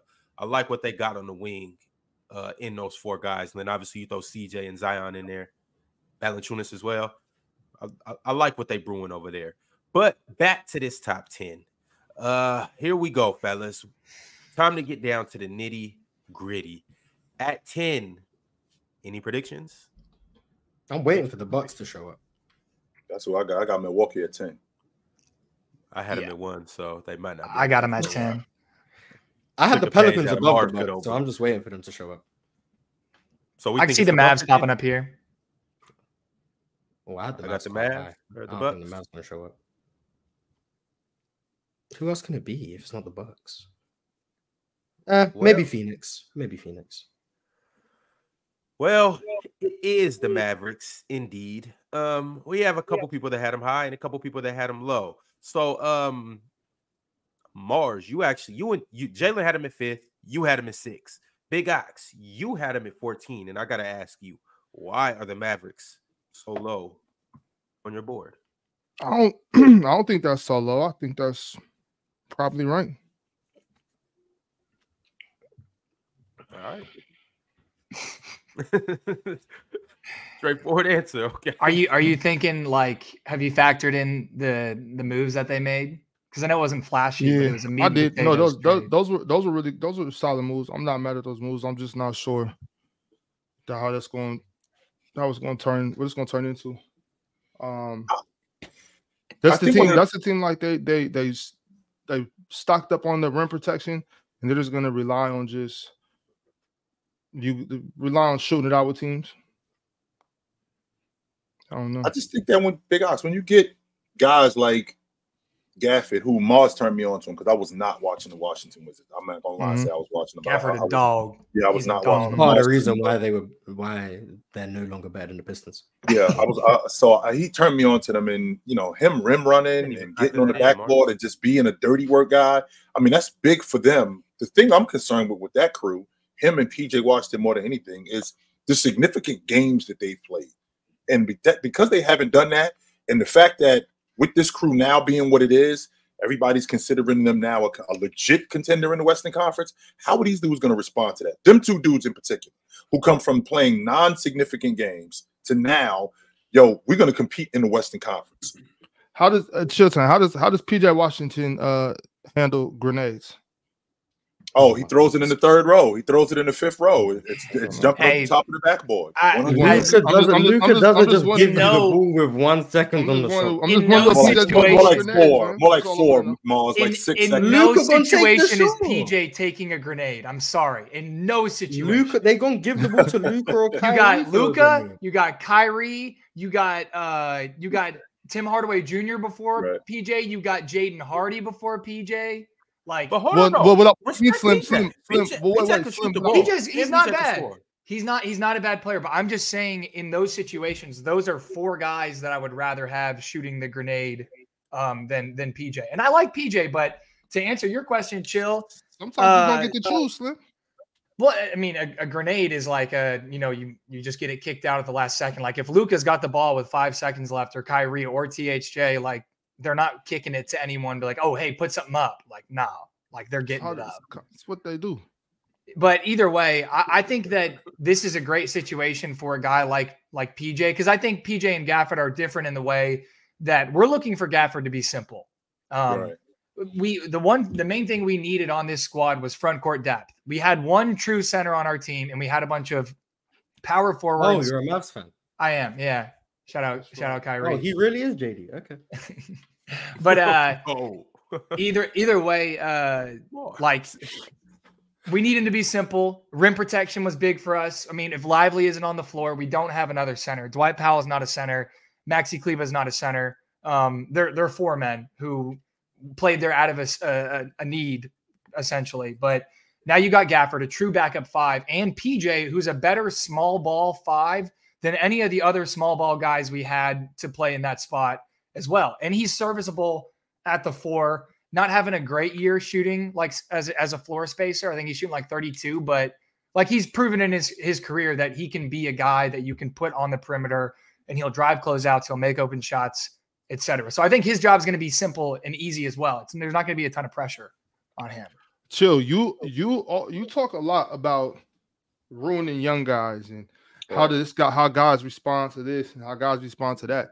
I want to know how does Dereck Lively respond to the acquisition of, of Daniel Gafford? If if his minutes if he see, if he's if he sees a, a minute a minute decrease over there, does that, is that not one of those situations which um I mean you you you like to point these these situations out? Is this not going to ruin the young fella? I actually thought that it would have been dope if they would have got Gafford in the beginning so Lively could play behind him because I thought he was a project coming right in. From the beginning, I thought he was a project. I didn't think that he was a guy who should have been playing right from the door. I think Luka makes him look a lot better than what he is. And I think the Mhm. fact that him playing behind Gafford and him seeing how you can get to angles, how you can dive to the rim, how you can play defense, I think that that's going to help him more than it's going to hurt him. I don't think that he's one of those guys that should be playing right from the door. I, I thought that he'd be a good. I thought that he'd be a good big in Dallas, but I thought that he was a project. And I think having Gafford, I think that's going to help him. All right, y'all. Moving along, as you can see at number nine, the New York Knicks are coming in. We cool. That's with where I had them. This This Bucks is team is spot. this Bucks team is escaping right now. They are garbage, Mars. They are. Yo, hold on. And all right, well, since we're here, I guess like you guys are just on my guys like that. The Bucks are next, but I'm you guys are saying they're garbage. Chill.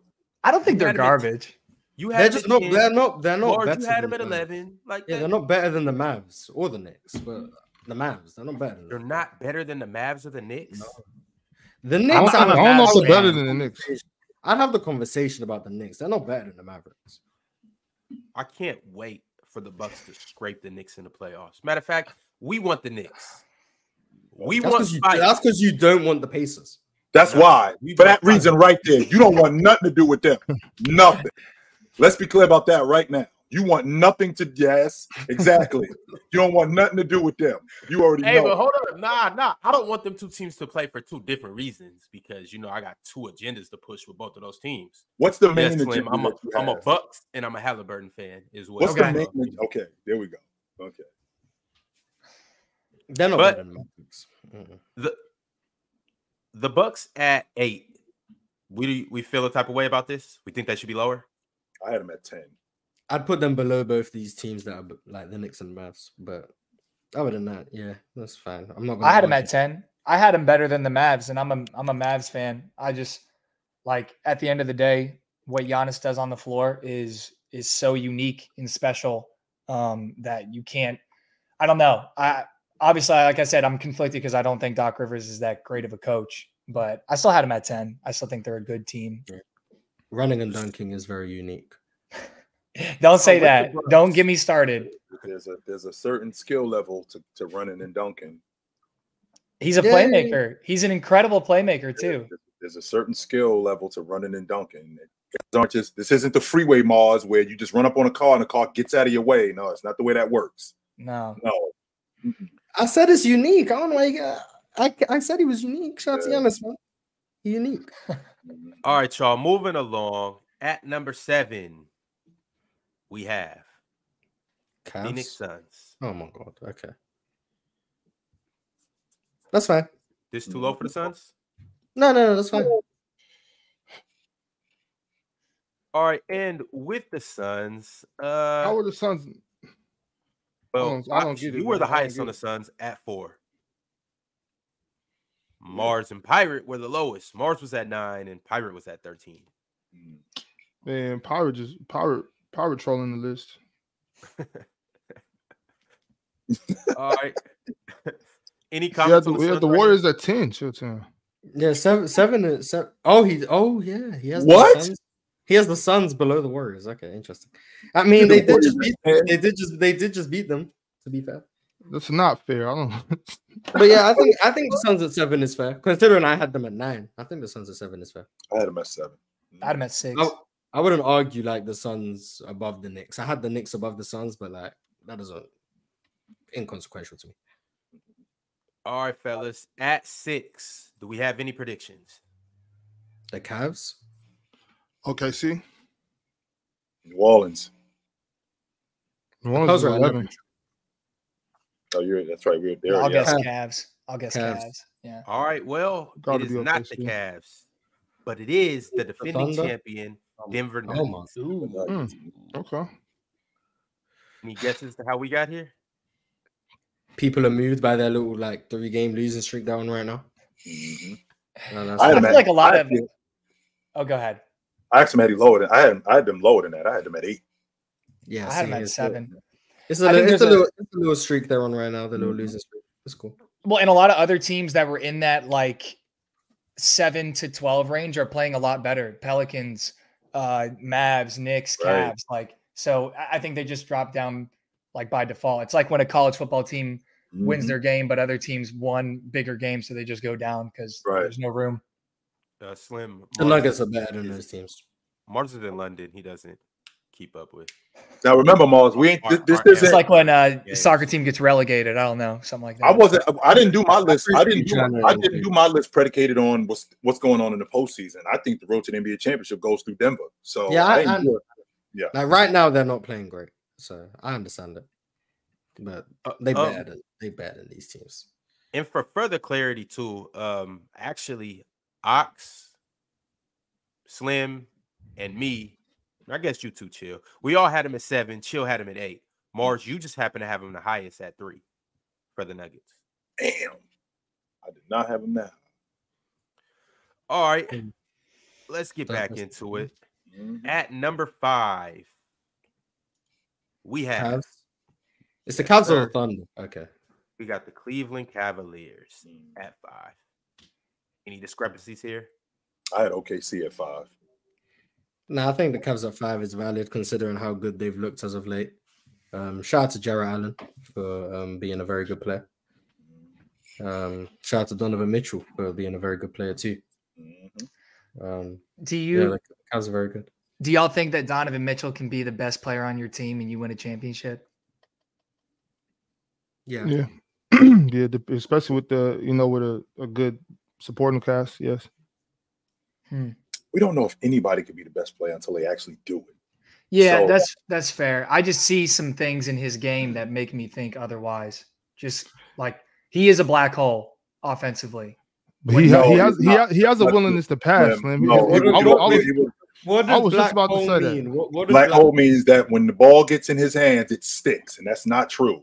Not this year. I've seen I've this seen year. his, I've seen his ability. Maybe Slim has a different definition. Yes, Well, let's, I've- let, I've let, seen- let, I've No, seen that his is ability- that is my No, definition. okay, never mind. Okay, Yeah. never mind, never mind. I've seen his ability to dominate as well as his willingness to to come off the rock so Yeah. many different times where I'm like you when you when you can close a game with your with your scoring you can keep the, the team in the game with your scoring but also trust your teammates to kick that ball uh, and let them do their thing I think uh, somebody with his ability that's you know that's that's a player that you can win with and and this isn't this isn't a new take. I'm not basing this take off of like, oh, this year. Like this is something I've sat on for a while. So maybe it's outdated now. Um, because when I watched Donovan Mitchell, I'm, I'm kind of watching through that lens of like, oh, there's another time where Donovan didn't hit the skip. He just decided to pump fake and drive the closeout when he could have kicked for a wide open three or, or or whatever, or drop off, yada yada. But um, I'm I'm open to being wrong if y'all think otherwise. Well, I just want to hear why. since Yeah, I, since I you- wouldn't since you- call him a black. But go ahead. Since- True watches the Cavs the most. so. I do watch the Cavs a lot, and since since you've been up here, you talk about gravity. Well, Donovan Mitchell this season, him getting into the paint, he attracts a lot more guys. He'd actually be a double-digit assist guy if those guys can convert more. Because guys like D Wade, guys guys like D Wade, guys like um uh the fake shooter Max Strus, guys like that. Fake shooter? Yes, fake shooter. The guys like that, he gets those guys wide open looks. There's plenty of times where I've I've actually shown Mars the footage where he's actually had those guys on the long ball line or had them in the mid range wide open. Plenty of times where they haven't converted, and now that, that relegates Donovan Mitchell to scoring. So if if, if those guys will convert more, and not only that, him also getting guys like Jarrett Allen at the rim, getting guys like Evan Mobley, now him being back in the lineup, with that defense being what it is, and it's gotten so much better. I'm I'm really high on the Cavs. I do not have the Cavs winning the NBA championship, but what you saw from the Cavs last year in the first round against the New York Knicks, you will not see that this year. You will mm. definitely see a different unit. You will see a tougher unit. You will see a more poised unit. You will see a more experienced unit. You will not see the same guys that got pushed around last year. No. And what and And- for what they've been doing this season, and not just this season, as of late, how they've been rolling, beating the teams that they're supposed to beat. I'm really high on the Cavs going into the playoffs. I don't have them winning the NBA championship, but I definitely have them getting out of the first round. And Chill is not lying. He had him ranked number two in his power rankings. Yes, Wow. Uh, but Yes, Okay. moving along, That's a lot we, of is emphatic. we have four teams left. That's the best We record in the have league since The January 1st. Clippers, That's the best the record in the league. Wolves, the Thunder, and the Celtics The next team is Who OKC. is The coming next team, the next team has to be OKC. Are we sure? I'm certain. Positive. Positive? All right. Well, no further ado. The next team happens Yes. to be the Thunder. Mhm. Mhm. I'm not mad at. The Thunder are a very good team. I, I got the Clippers there. I got the Thunder up one spot at three. They just Big need to do the one I had the Clippers. I had the Clippers at four. You know what I'm about to ask you. You Who's had the? Thunder at eight. Mm. Do you have an explanation for this? So with that, Big Ox, those other seven teams are better Mm, cooked. I'll say cooked. That's not. That's a great explanation. I think we're done here. That's it, Ron. All right. Uh, I'd move. I'd move the Thunder up if they got that one guy on the bench. Go with them. All right.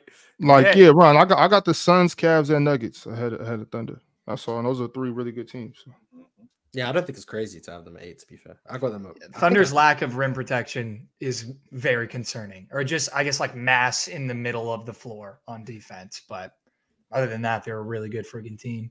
That's what explained Slim why the Lakers are like this in the playoffs. That's why these. Yeah, that's why the Lakers want them. Yeah. For that reason, right there, they like bring them dudes. Yeah. Yes.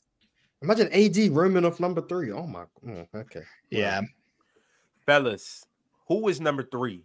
Do they smoke? Yeah, the real quick, Ron. The Do they, do they smoke OKC? the Six games. Lakers. Six games. Yes. Six games. Do they smoke them? Who do you throw at AD? Who does they? Who Five. does OKC In- even in- have on their roster? In Let's Let's go go five. Biyombo. Biyombo. Respect Bismack Biyombo. Let's respect Bismack. Chill, They- chill. they destroy Bismack. Still, really- Bismack and Gordon Really, five, five is five is love. I really, I really got them bringing. You the think they games out. smoke them? You think you think they straight? I don't- you OKC, they mouth them, OKC. OKC don't got nothing for for Bron and AD. but, like, Nah, you know, you know, LeBron does his little thing where game one is a feel out game, so OKC can get game one, And then run past them in the next four and then, games. and then- and then the Lakers will go up three one. The Thunder will fake get a fake comeback, make it three two, and then the Lakers will close out in six. Yeah, they don't have they don't have a center on their roster. Bismack Biyombo. At six eight, Mars.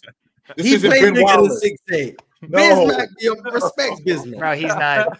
nah, I mean, he's a, he's Bismack's a a center. Respect Bismack. Respect. He's a center by by like technicality, but I mean, he's not a he's not a rim protector anymore, man. I mean, he's his knees look like they're about to disintegrate every time he leaves the floor. Yo, That's crazy. He's not moving well. respect Bismack. Are you man. saying that Kawhi and Bismack swap knees? Something like that. They both got the same degenerative knee. I don't know. I just watch him move. I and that's something I put too much. I put too much. Uh, uh, I guess stock into is the eye test. I'm just like, man, we- no, don't. He You're not not, looking- putting too much stock. There's There's no such thing too as much too much stock stock into in the the eye- eye eye test. There's no such thing as that. Just El respect. basketball. Just trust my instincts as a scout. We got to get Yes. back into this list, mm-hmm. but we have three teams remaining. Who do you guys think is number three? We have the Clippers, we have the Wolves, the and we have I think it will be the Clippers, but I think it should be the Wolves. I Chill. had Minnesota, I had Minnesota at three. So Yeah, but that's because you had the Cavs at two. Wait, we're trying to figure out who's at three. Where'd you have the Clippers? Yeah. Yeah. Yeah, at four. You had the Clippers at four. I had the Clippers at four. I, I had the oh, Thunder Oh, at three. what's up? I think I think the Wolves. Are, I think the Clippers are going to be at three. Can I see what the All list right. we got now? Okay, if we got them there, then I put yeah, Clippers at three. Mm-hmm. Okay, well, you are indeed right. It is See, the I'm Clippers. just I see through this, man. Everyone's wrong. The Wolves are not better than the Clippers. Yes, they are, Mars. Nah. And They are. gonna- and- and not only are they are they better, Finch is going to outcoach Ty Lue. I'm saying it. He's going to outcoach him You only saying that because you know I'm inclined to agree with you. Because That's the only reason you saying that. You know I'm inclined to agree with that statement. because it's That's gonna fact. be- He gonna run That's Kawhi at the five. Like and Paul George at the four. the Clippers still better. Though. The Clippers I mean, yeah, better. and honestly, how like you said that the way they've been countering that small ball uh thing is by like, okay, we're gonna like throw the ball to Rudy rim running. Like, how many times are you gonna like he might make two in a row, but he's also prone to miss the next four because No, he isn't. Rudy is Rudy is one of the highest percentage around when the he's rim. dunking, yeah, because he's. Yes. he only shoots dunk like his only shot attempts around the rim are not only, but the vast majority of them are dunks. That's the So point. like That's okay, okay. but if it's not Keep in dunking. transition, like you can't just throw him the ball Right. down there and he turns around and dunks it every time. They like, actually did that when they beat the Minnesota Timberwolves the last time in the half court. Kawhi Leonard was switched on to him. They went up high to him. He got the ball. Boom. They did the same thing. Russ switched on to him. He went up high, got it. Boom. Dunked the hmm. basketball. So And now Slim, all of a what- sudden, with that being with that being said, too, we don't got to do it all game. Just you know, let's let's get For let's get let's, let's get six and of not, these. not and, to punish them. you know, That's fair. yeah, they'll That's switch fair. I mean, not to You know? mention, I mean, they have KAT. Like, they do. Yes, they do. like I know the I know the plan of action in the past has been you could put a wing on KAT and he gonna just barrel over people and get offensive fouls. Because for whatever reason, KAT just loves running into people. Like he gets away with it because his his name isn't Giannis, but he be racking up charges. but I mean, you go small enough. You have Paul George on KAT. He can punish that mismatch. Like he's capable down down in the He's not about to do that though, Mars. Yes, he is. outshoot- No, Yes. he's not. Yeah, on the box. He's simply trying to- yes. he- he on the box. Absolutely on the box. And He chill. could, he could chill. He's gonna be out there like can this. run three miles today. I'm On the not going to. Like, He gonna be he gonna know? be tween tween Thing trying is, to do all this dribbling. again, I'm inclined to agree with you guys because I have the Clippers over the Wolves. But I mean, the, the Timberwolves have counters to the Clippers going small. They That's do. all Not- I'm not- saying. what They I have could just play Naz But I don't believe in them because I just I'm, I don't believe in their half court offense. That's where I'm at with it. And Naz, slow mo, Jay McDaniels, and, and Ant. I mean, they can play without Rudy on the floor and still be a really, really stifling defensive They team. can. Slim. What my problem So, is Ant isn't a That one good enough guy. playmaker. That's my problem. Who that one guy that their Yeah. best three point shooter. That's my problem. for the Okay. for the Timberwolves? Yes. Yeah. He don't believe in KAT. He doesn't believe in KAT. Oh, Not- and KAT. one. Yeah, I, I I don't believe in Big Purr. But we have to Ah, move yeah. on because we're coming to the end of the show. you know Um, Boston's number one, whatever. Yeah, good for yes, you. Yeah, yes. Jayson Tatum, woo, top five. Yeah, we're good. Eat it, Mars. Eat it. Eat it, Mars. two, The Celtics are one, and it was Eat it, actually Mars. Our first unanimous pick of all time, or since we started doing this. The Celtics swept at number one. Everybody chose the Celtics unanimously. So shout out to the Celtics and their dominance this year. Uh, we'll see if they'll continue that throughout the rest of February into March. We'll get to our March rankings here very soon. But this is the list for you guys. We will be back tomorrow at the same time. Same crew, sort of, kind of. And Slim, we didn't get your top 10, but something tells me you'll be on. You got Mars stamp of approval, which a lot of people don't get. But something tells me you'll be back on very soon, and we'll get your all-time top 10. Oh man, nobody I, ever, I and nobody ever did that.